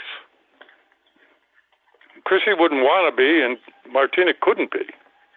I mean, I, I interviewed her once for a, a tiny story at her house, and she was a riot. It's like talking to, you know, she, she, she used similar language to me, but not quite as profane which was like talking to Joan Joyce. Those those, those girls were real athletes. All right, Well, I cou- said girls again. Yeah. Well, I- okay. So a couple other pieces that that uh, stand out to me uh, among just uh, it's impossible to choose, but um, so sticking on tennis for a second, um, the story you wrote about Renee Richards, uh, Renee's Oh. retreat. Oh, painful story. Very painful. I went with my wife, Susan. uh, we flew up from Florida. The plane was delayed. We went to her, our doctor's office, uh, where she uh, Park Avenue, and they were already gone to their Bedford place. They had a place in Bedford or one of those places on a lake, you know. Her and her girlfriend, which I found strange. So um, her girlfriend would send us Christmas cards all the time. Helen, I think her name was. Anyway, uh, so we had to take a train, train, like you know, it was like, uh, was it trains, planes, and automobiles in order to get up to this godforsaken place in upstate New York. We got there, and Renee was when as she when she was Richard Raskind, she was six three or four or whatever, 155 pounds, right? When she was Renee Richards, she was six three or four, like 220. It was very difficult. Uh, she was great, and her, her girl was great. You know, and uh, she told me a funny story. this, I don't know. Did I ever write? Did I write it in the thing? I'll tell you the story. You could edit this if you want. No, go ahead. She said she met Christine Jorgensen after Renee had the operation, right? She met Christine Jorgensen, who had the operation first. So Christine says to her, "And what did you do with yours?" Was there an answer? Uh, that was just no. It was a question. Left that left that out there. Okay. Yeah, it was a Perhaps question. wisely. So that was that was those two, that was those two girls' first words. Somebody thought it would be great to put them together. Jeez. Actually, uh, uh, uh, I, I, I, Renee was cool. She was working with a she was working with a boy tennis player when I was up there. She was a coach, and she wanted to kill him. He was a spoiled little brat, you know. And I was watching her, and she she had that aggressive nature that you might you know for years was classified as a male nature, you know, aggressive and combative and all that kind of stuff. Today, women have it. Well, maybe they always had it. Yeah, and, I'm and getting less. No. I'm getting less woke as we go. no, well, uh, but but but it's and it, but it's interesting. It's fascinating to see the, in many respects, long overdue sort of. Um, I, I don't even sort of narrow it down to quote unquote equality, but just sort of the, uh, the uh, the attention and the elevation, I guess, of I think to the traditional quote unquote male dominated sports world, right? The, the, the women's Yeah. sports is not something that just sort of showed up overnight, right? But but No way. I mean, women's basketball was a disaster. no, right? when it first, it was like they were like they were wait, wading through water. You know, I, I told that to some woman golfer. So- so- so Twenty years ago, maybe maybe thirty years ago. He said, "I can't watch women's basketball. It's like watching people wade through water playing basketball. They were slow. They didn't have any. You know, they weren't real basketball players. Now they're basketball players. Yeah. I mean, Now- number one, they had to develop physically. You know, basketball is a physical sport. You don't see any female baseball players, do you? Well, uh, and that's not for a lack of of uh, of trying and and uh, and. They can try. Well, you know, but you know, I, I think there's. Stay tuned. I think I think there's a lot more to come in. Um, I, look, I you know, you look at something like, for example, also ahead of its time, and and this is a segue into it quickly is is the Wilt Chamberlain story, right? So the International oh, Volleyball Association, great guy. Mary Jo Peppler played in the IVA, right? And talk about something lost to history, but in many respects, right? Along this is around the time of the of World Team Tennis, which itself was trying to equate male and female yeah. uh, tennis playing, right? But on the volleyball court, it was even more so, right? It wasn't even it was more mixed and and and uh, uh, you know, integrated. It's not the right word, but uh, yeah, but it was, it was mixed because it come from California. I mean, it was an outdoor. It wasn't. It wasn't a professional thing, uh, volleyball. It sprang up as a, a kids going to the beach and and uh, jumping in the sand and hitting the ball over the net, boys and girls together. So it it, it began integrated. It might have become unintegrated when it became professional, and it was the men's volleyball and the women's volleyball. But volleyball is one of the few sports that began as an integrated sport. It was a it was a Southern California thing. Basketball didn't become integrated. Volleyball always was integrated when it was in California in the 20s and the 30s and all that shit. And you and you tackled Wilt, uh, obviously a, a lifelong uh, volleyball player and enthusiast, and then uh, obviously he yeah. was commissioner of this IVA for a while. W- what was your sensibility there? Because you were actually you were you were dealing with him sort of in the in the the the the, pa- the past of his career, right, or the waning years. Oh yeah, he was over. Uh, you know, he's a, he was one of the great guys. I got to tell you a funny story. I'm a writer. I always got stories. I go there with Wilt. I do two things. It's up on Mulholland Drive. I always go early. Number one, I'm terrified I'm going to be late, so I get there and find out where the place is that I'm supposed to be. Once I find a place, I gauge how long it's going to take me to get from a coffee shop to the place, and then I go and sit down and have coffee and read my notes. So I got to Will's place, nothing around it, nothing. I mean, other except other houses. I went like 10 miles, 15 miles. I couldn't find a gas station. So finally, I said, "Screw it! I got to go back." I was supposed to meet him at one o'clock. I get there at 12:30. He comes to the door in his pajamas. He said, "Oh, Pat," he said, "I was going to set the house up for you. I was going to put the lights on around the pool and everything, so you could see the effect of a, you know." And he was going to stage manage. So I said, "I don't give a shit about the light boots. I just came here to talk to you." So we talked for four or five hours. We had fun, and I told him my, my wife and I lived in North Carolina in the mountains for a couple of years, and my wife loved the Cherokee Indian history there and he said he told us he's part Cherokee from North Carolina. So he's he's black and Cherokee, and he said he used to summers in uh, North Carolina with relatives who had Cherokee background. So I said, "Oh my life, she'd love to talk to you about that." So I get on the plane at one o'clock in the morning to go uh, the red eye to go back to Fort Lauderdale. My wife's going to pick me up at six in the morning at the airport. So she gets to the airport She's half asleep. I said, I told you I was going to be in at six. She said, Will called me at two in the morning, Eastern time, which was 11 his time. She said, We talked for three hours. She said, she didn't know anything about Wilt. You know, she knew he was a basketball player. So that's the end of the story. I said, Well, he probably wants you to be 20,000 and first. You know, he he once said in his book that he had sex with twenty thousand women. It was a nice even number. I said, Susan, you're going to be you're going to be twenty thousand and one of Wilt Chamberlain if he ever meets you, because my wife uh, was famous in Fort Lauderdale. She was a bodybuilder, and I mean, you know, she was. She, I, can't, I have to be honest. She was the most beautiful woman in Fort Lauderdale really beautiful because she would lift weights and she was way ahead of her time being muscular and big and all that. Anyway, so and she's blonde and blue eyed. So we go out.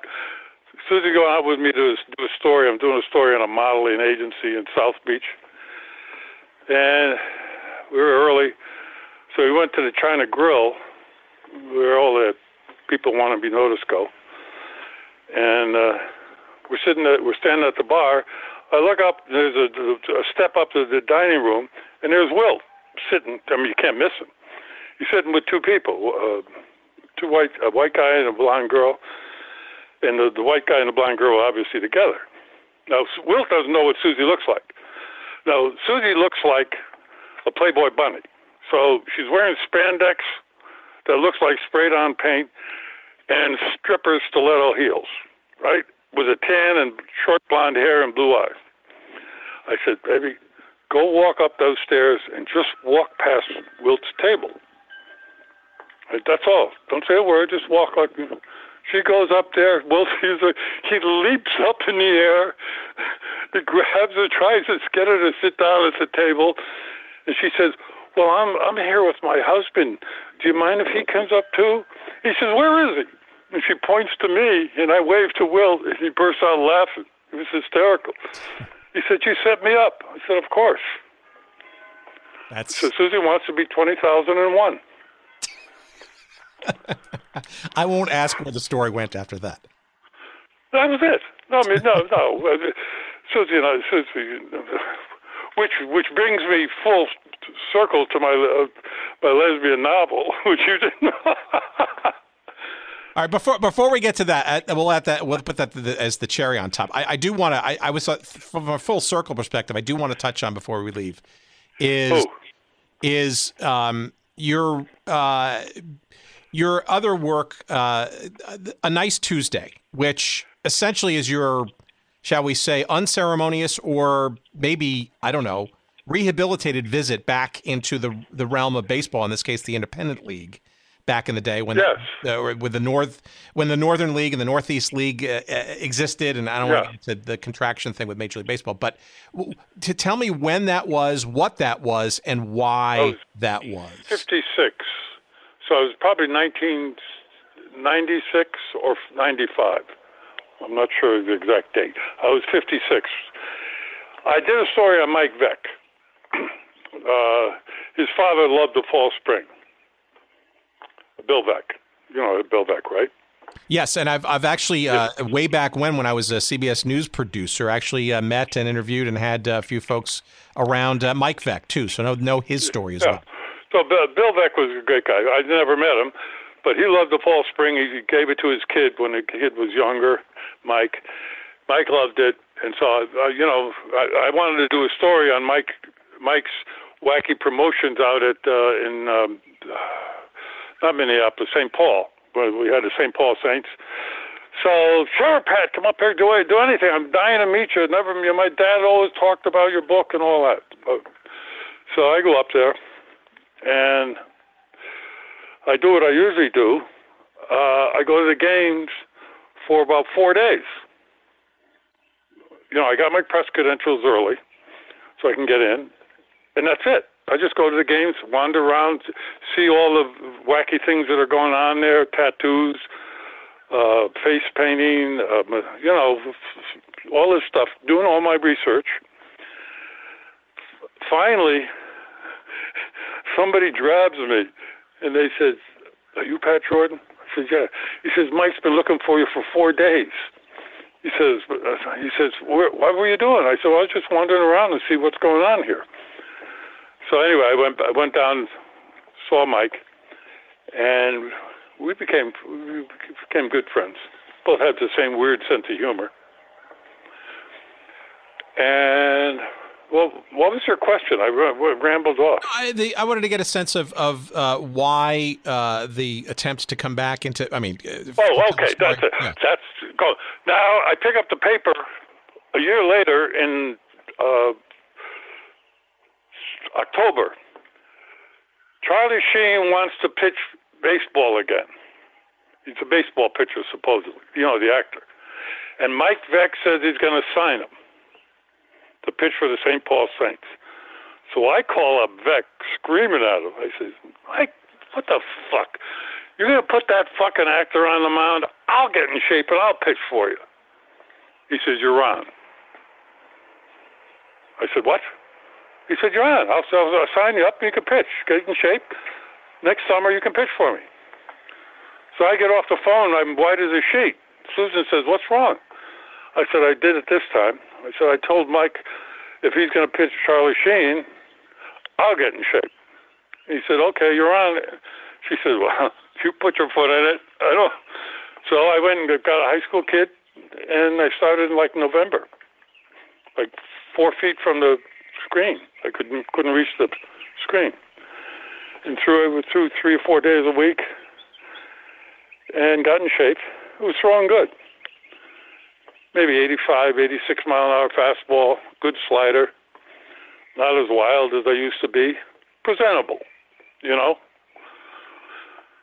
So uh, I'm all ready to go, and I see Mike Veeck signs Ila Borders. I said, "What's an Ila Borders?" Ah, talk about women. You know, who baseball. should- Here we go. the first woman in baseball. The pitch. He signs Ila Borders to pitch for. I said, "What the fuck?" I said, "I call him up, Mike." I said, "What are you doing? You getting every freak? I'm not a freak. I'm getting in shape." You got Charlie Sheen. You know, hopefully he won't be coked out when he's on the mound. And now you got a girl pitching for you, and I'm going to pitch for you too, an old man. He said, "I was going to call you about that." He said, "I can't have three freaks in this show," so he fired me.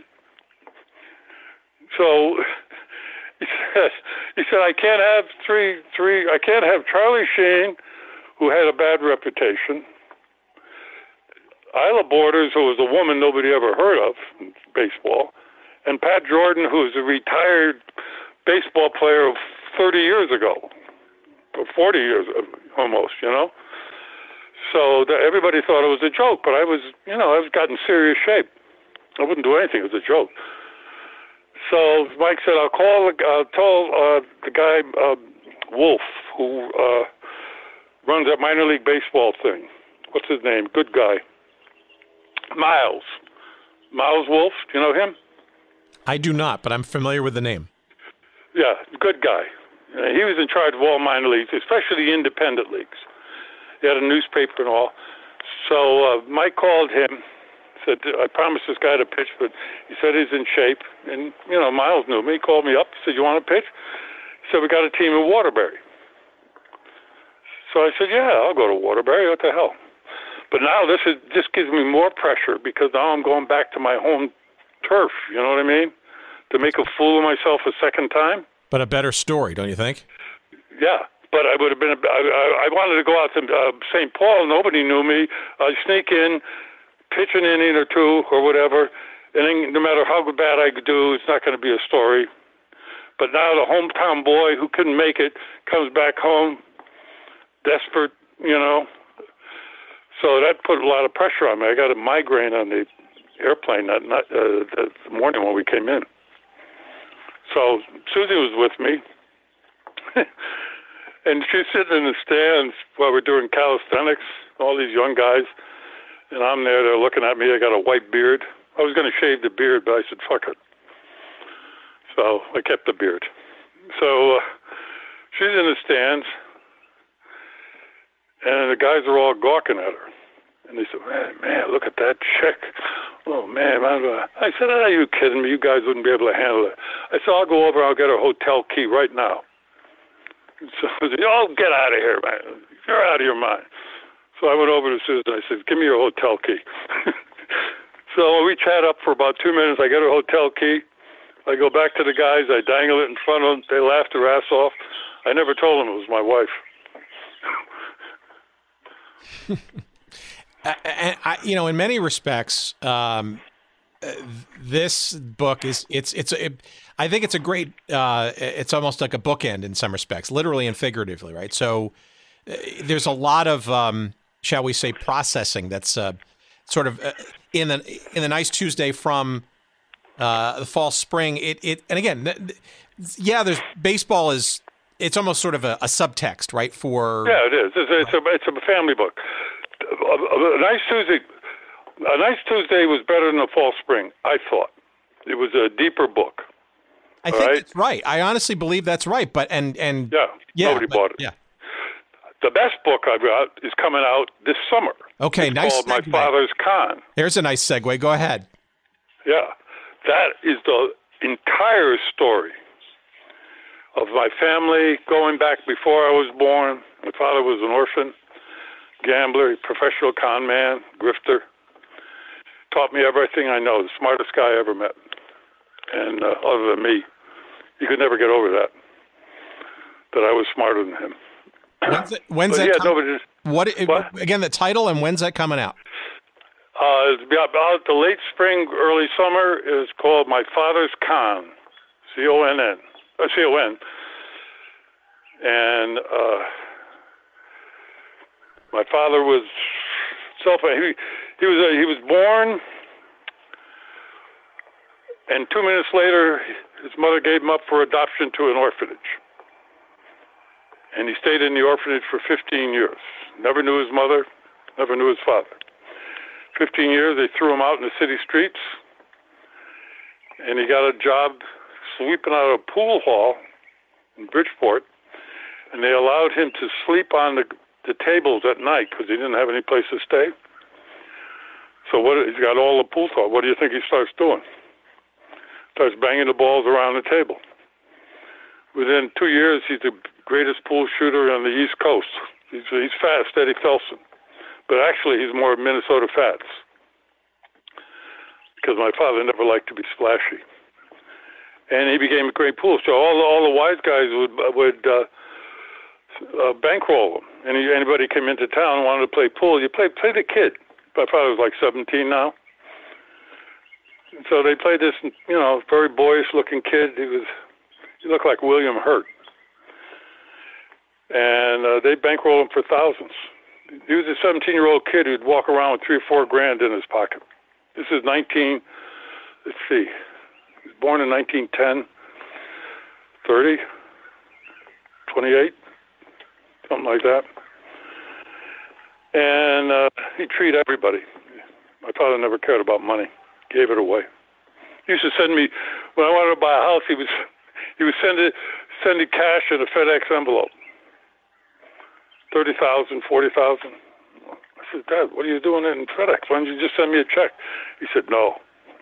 I said, Well, what's FedEx anyway? Why don't you send it to the post office? He said, It's a federal offense if you send it in post office, and it's uh, illegal money. I said, Where did the money come from? He said, You don't want to know. That's the kind of guy he was. Did, did your so dad? I never, did your well, dad I never do anything through the U.S. mail. Always FedEx. Did your dad get to see your writing success and and? Oh yeah. Okay. He used to play. He used to have the the car. He poor guy. He uh, was so thrilled when I was writing for Sports Illustrated. I see him one day down in Bridgeport, and he's got the trunk of his car open in front of this uh, bar where all the, the gamblers hang out. And guys are coming out, and he's got all my Sports Illustrated, like the latest story, maybe 20 copies and he's handing it out to the guys to read. The Sonny Boy wrote, right, the story. And I come over. I said, Dad, what are you doing? Where did you get these copies? I, bought them. He said, that way you'll make more money. He thought it was like a book, that every book I sold I got 10% or 20%. He thought the magazines were the same. I said, no, Dad, I get one fee, and it doesn't matter if they sell a million Sports Illustrated or two, I get the same fee. So you waste it all, and I can get you, I can get you all these magazines for nothing. So tell me what you want, and I'll do it. But that's the kind of guy. Oh, he, here's a fun. This is a good story. He was on an airplane once, Pat Jordan, and I had a big story in Sports Illustrated. Stewardess read it, and she said, uh, "Would Mr. Pat Jordan please stand up, please?" So my father's in the aisle. He stands up. She comes down to him. She shows him. She said, "Did you write this story for Sports Illustrated?" She said, he said, yes, I did. So she brings him up to the front of the plane and announces they have a writer celebrity on the airplane, Pat Jordan, who just wrote the story for Sports Illustrated. It was my old man.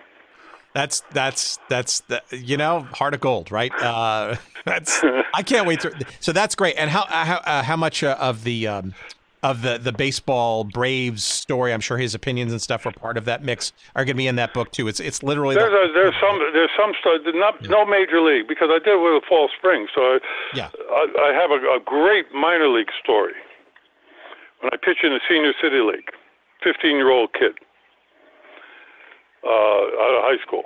Not out of high school. It was during the summer. I pitched against Tommy Casagrande. You know who Tommy Casagrande? I Tommy don't, Big but with House. a name like that, I should. Tommy Big House uh, from uh, Wallingford, Connecticut. uh, big. He he was what Whitey Ford would have been if Whitey Ford was bigger and had better stuff.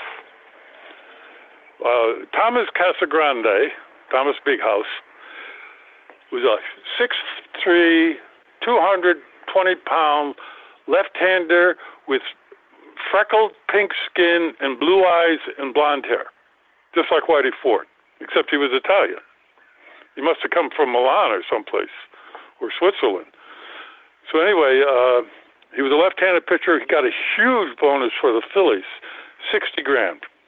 When it, this was in like the forties, right? Where they were they weren't passing out money in those days. And he called up to the Phillies for a cup of coffee, but he hurt his arm, and he came back to the Senior City League to pitch. So he's it was you know he was really good. You could see he must have been great, but his fastball was straight now. I mean, he maybe maybe touched 90 once in a while. His curveball didn't have that that real uh, drop to it. It was just sort of rolled in, but you knew it had once been great. You could see his greatness, and, and plus he had the most beautiful motion. So first game I pitched in the Senior City League at 15. This is after I struck out 19 batters in high school. And because I struck out 19 in high school, I didn't want to play in the Babe Ruth League with with kids my age or the, the American Legion. I wanted to play with somebody better than me. So I, played against these 30, 40 year old guys, Tom Casagrande. So anyway, I pitched.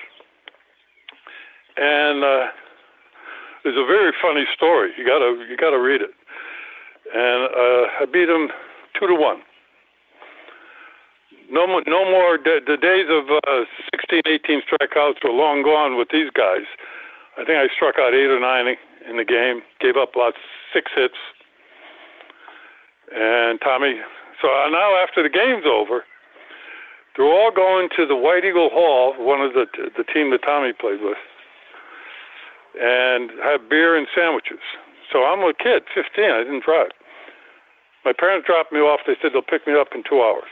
So I go in there. We've still got our uniforms on, you know, dirty and everything. And I'm there, and all these guys, old guys, forty, some fifty. You know, I'm I'm like a baby. So all of a sudden, the floor is parted like the Red Sea. Tommy Casagrande, big house, barreling through all the guys, coming straight towards me, and he's got two beers in his hand and he hands one to me, and he then he pulls one out of his pulls his pack of cigarettes out of his back pocket and offers me a smoke. I said, Tommy, I don't smoke. He said, Well, you're going to have to learn. Uh, that's all right. I forgot you're only a kid, but you're going to have to learn how to drink beer. It's the first beer I ever had. So I had, beer with him. And he, he says to me, This is a funny. He says, Kid, you're going to be in the big league someday and it's going to be soon. So I, I told him. So my mother and father picked me up, and in the in the book I wrote, my father picked me up. He said, "How did what did Tommy say to you?" And I said, "I said, Dad, he said I was going to be in the big league someday, soon." And then I and that was the quote. And then I thought, but Tommy was wrong.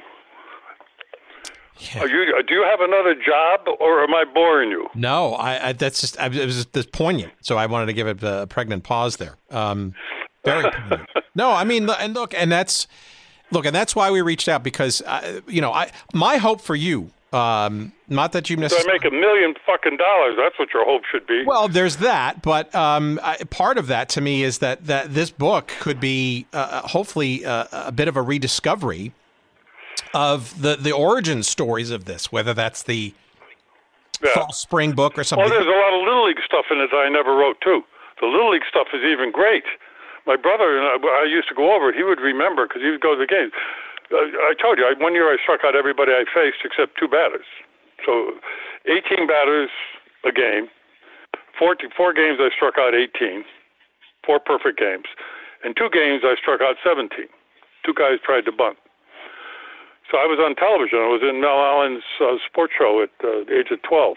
You know, before the game, they would interview celebrities. I was a celebrity. They didn't talk to me. They talked to my mother and father. So uh, when uh, Casey Stengel said, I heard he knew all about me, he said, I heard your fielders don't need no gloves with you, sonny boy. I said, no, they don't. So I figured they were going to uh, pitch, you know, the Yankees were going to sign me right there.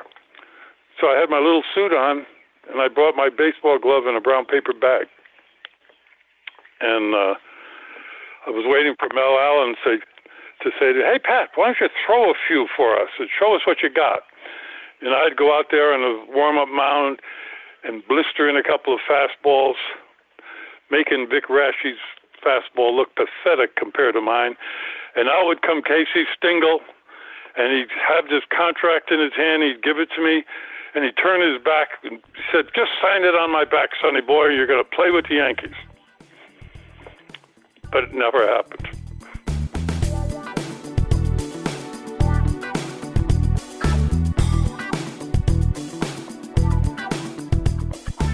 My goodness. Holy mackerel. So much there. So much to unpack still. And um, let's see. Let's get a few things uh, promoted and uh, suggested for you to go further in uh, the various uh, components of this conversation we just had. The book, A False Spring, came back out uh, in a re release in September of 2005 uh, from Bison Books, which is an imprint of uh, our pals at University of Nebraska Press. So make sure you get that. A False Spring. Make sure you also uh, check out uh, Tom Seaver and Me, which came out in 2020, uh, which is basically a 40 year story relationship between. Uh, Messrs. Jordan and Seaver, uh, a, an excellent baseball uh, book for sure. be on the lookout for uh, Pat's new book, a, uh, a novel coming out. No, it's not a novel. Sorry, it's a memoir. He's got a novel work he's working on as well. it's let's put it this way: it has nothing to do with baseball. I'll put it that way. Uh, but the uh, memoir uh, coming out very shortly, called "Baggage: My Father's Con." Uh, certainly, we'll get into a little bit of his his upbringing as part of that of that story. That's coming out soon. I'm not sure where the, where it's going to be published, but uh, it's coming out uh, in relatively short order, so keep a lookout for that. We'll also let you know when that's coming out too. All those books and more. And by the way, you should also check out uh, a list of um, some of the other books that uh, uh, uh, Pat has out there. Some of them are still in print, some of them are not in print. But there's there are various collections of his sports writing, like the best sports writing of Pat Jordan, which is out there. A nice Tuesday, which is his return to minor league baseball in 1997 when he played for the uh, Waterbury Spirit, and uh, obviously the uh, bookend, if you will, from his um, his journey uh, as a minor leaguer with the Braves, as we discussed. Um, uh, just some other the a great book on.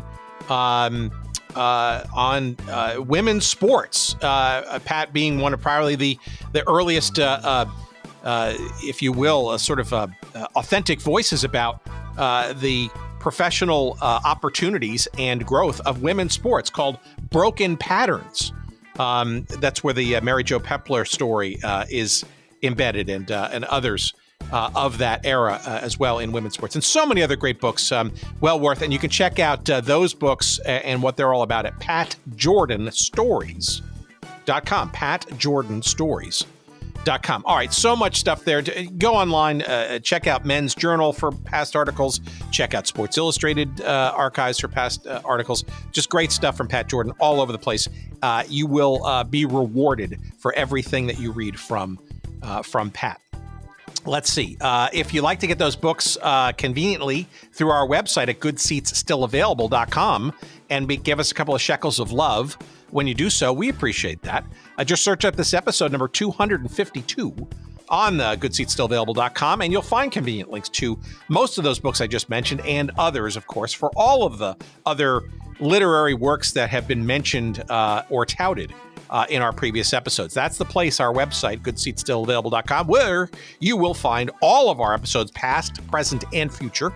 But of course, the easiest and best way to keep abreast of uh, all the latest episodes that we throw out your way is to subscribe or follow us, for God's sakes. Just your favorite podcast. Uh, a player or or feed, whatever, we're, we're available wherever you can find great podcasts. So just uh, click on us there and, and put us on your list, and we appreciate that. We also appreciate your reviews, especially those five star and uh, wonderful. Uh, uh gushing praise type reviews. We uh, just throw those in there. That'll help the algorithm and other people like you discover the show more easily. So we appreciate that. We also appreciate you following us on social media. You'll find us uh, on Facebook. There's a, a, uh, a, page devoted to us there. You'll find us on uh, Instagram. You'll find us at Good Seats Still available there. Uh, and on Twitter, we're at Good Seats Still. You can send us email at hello at goodseatsstillavailable.com.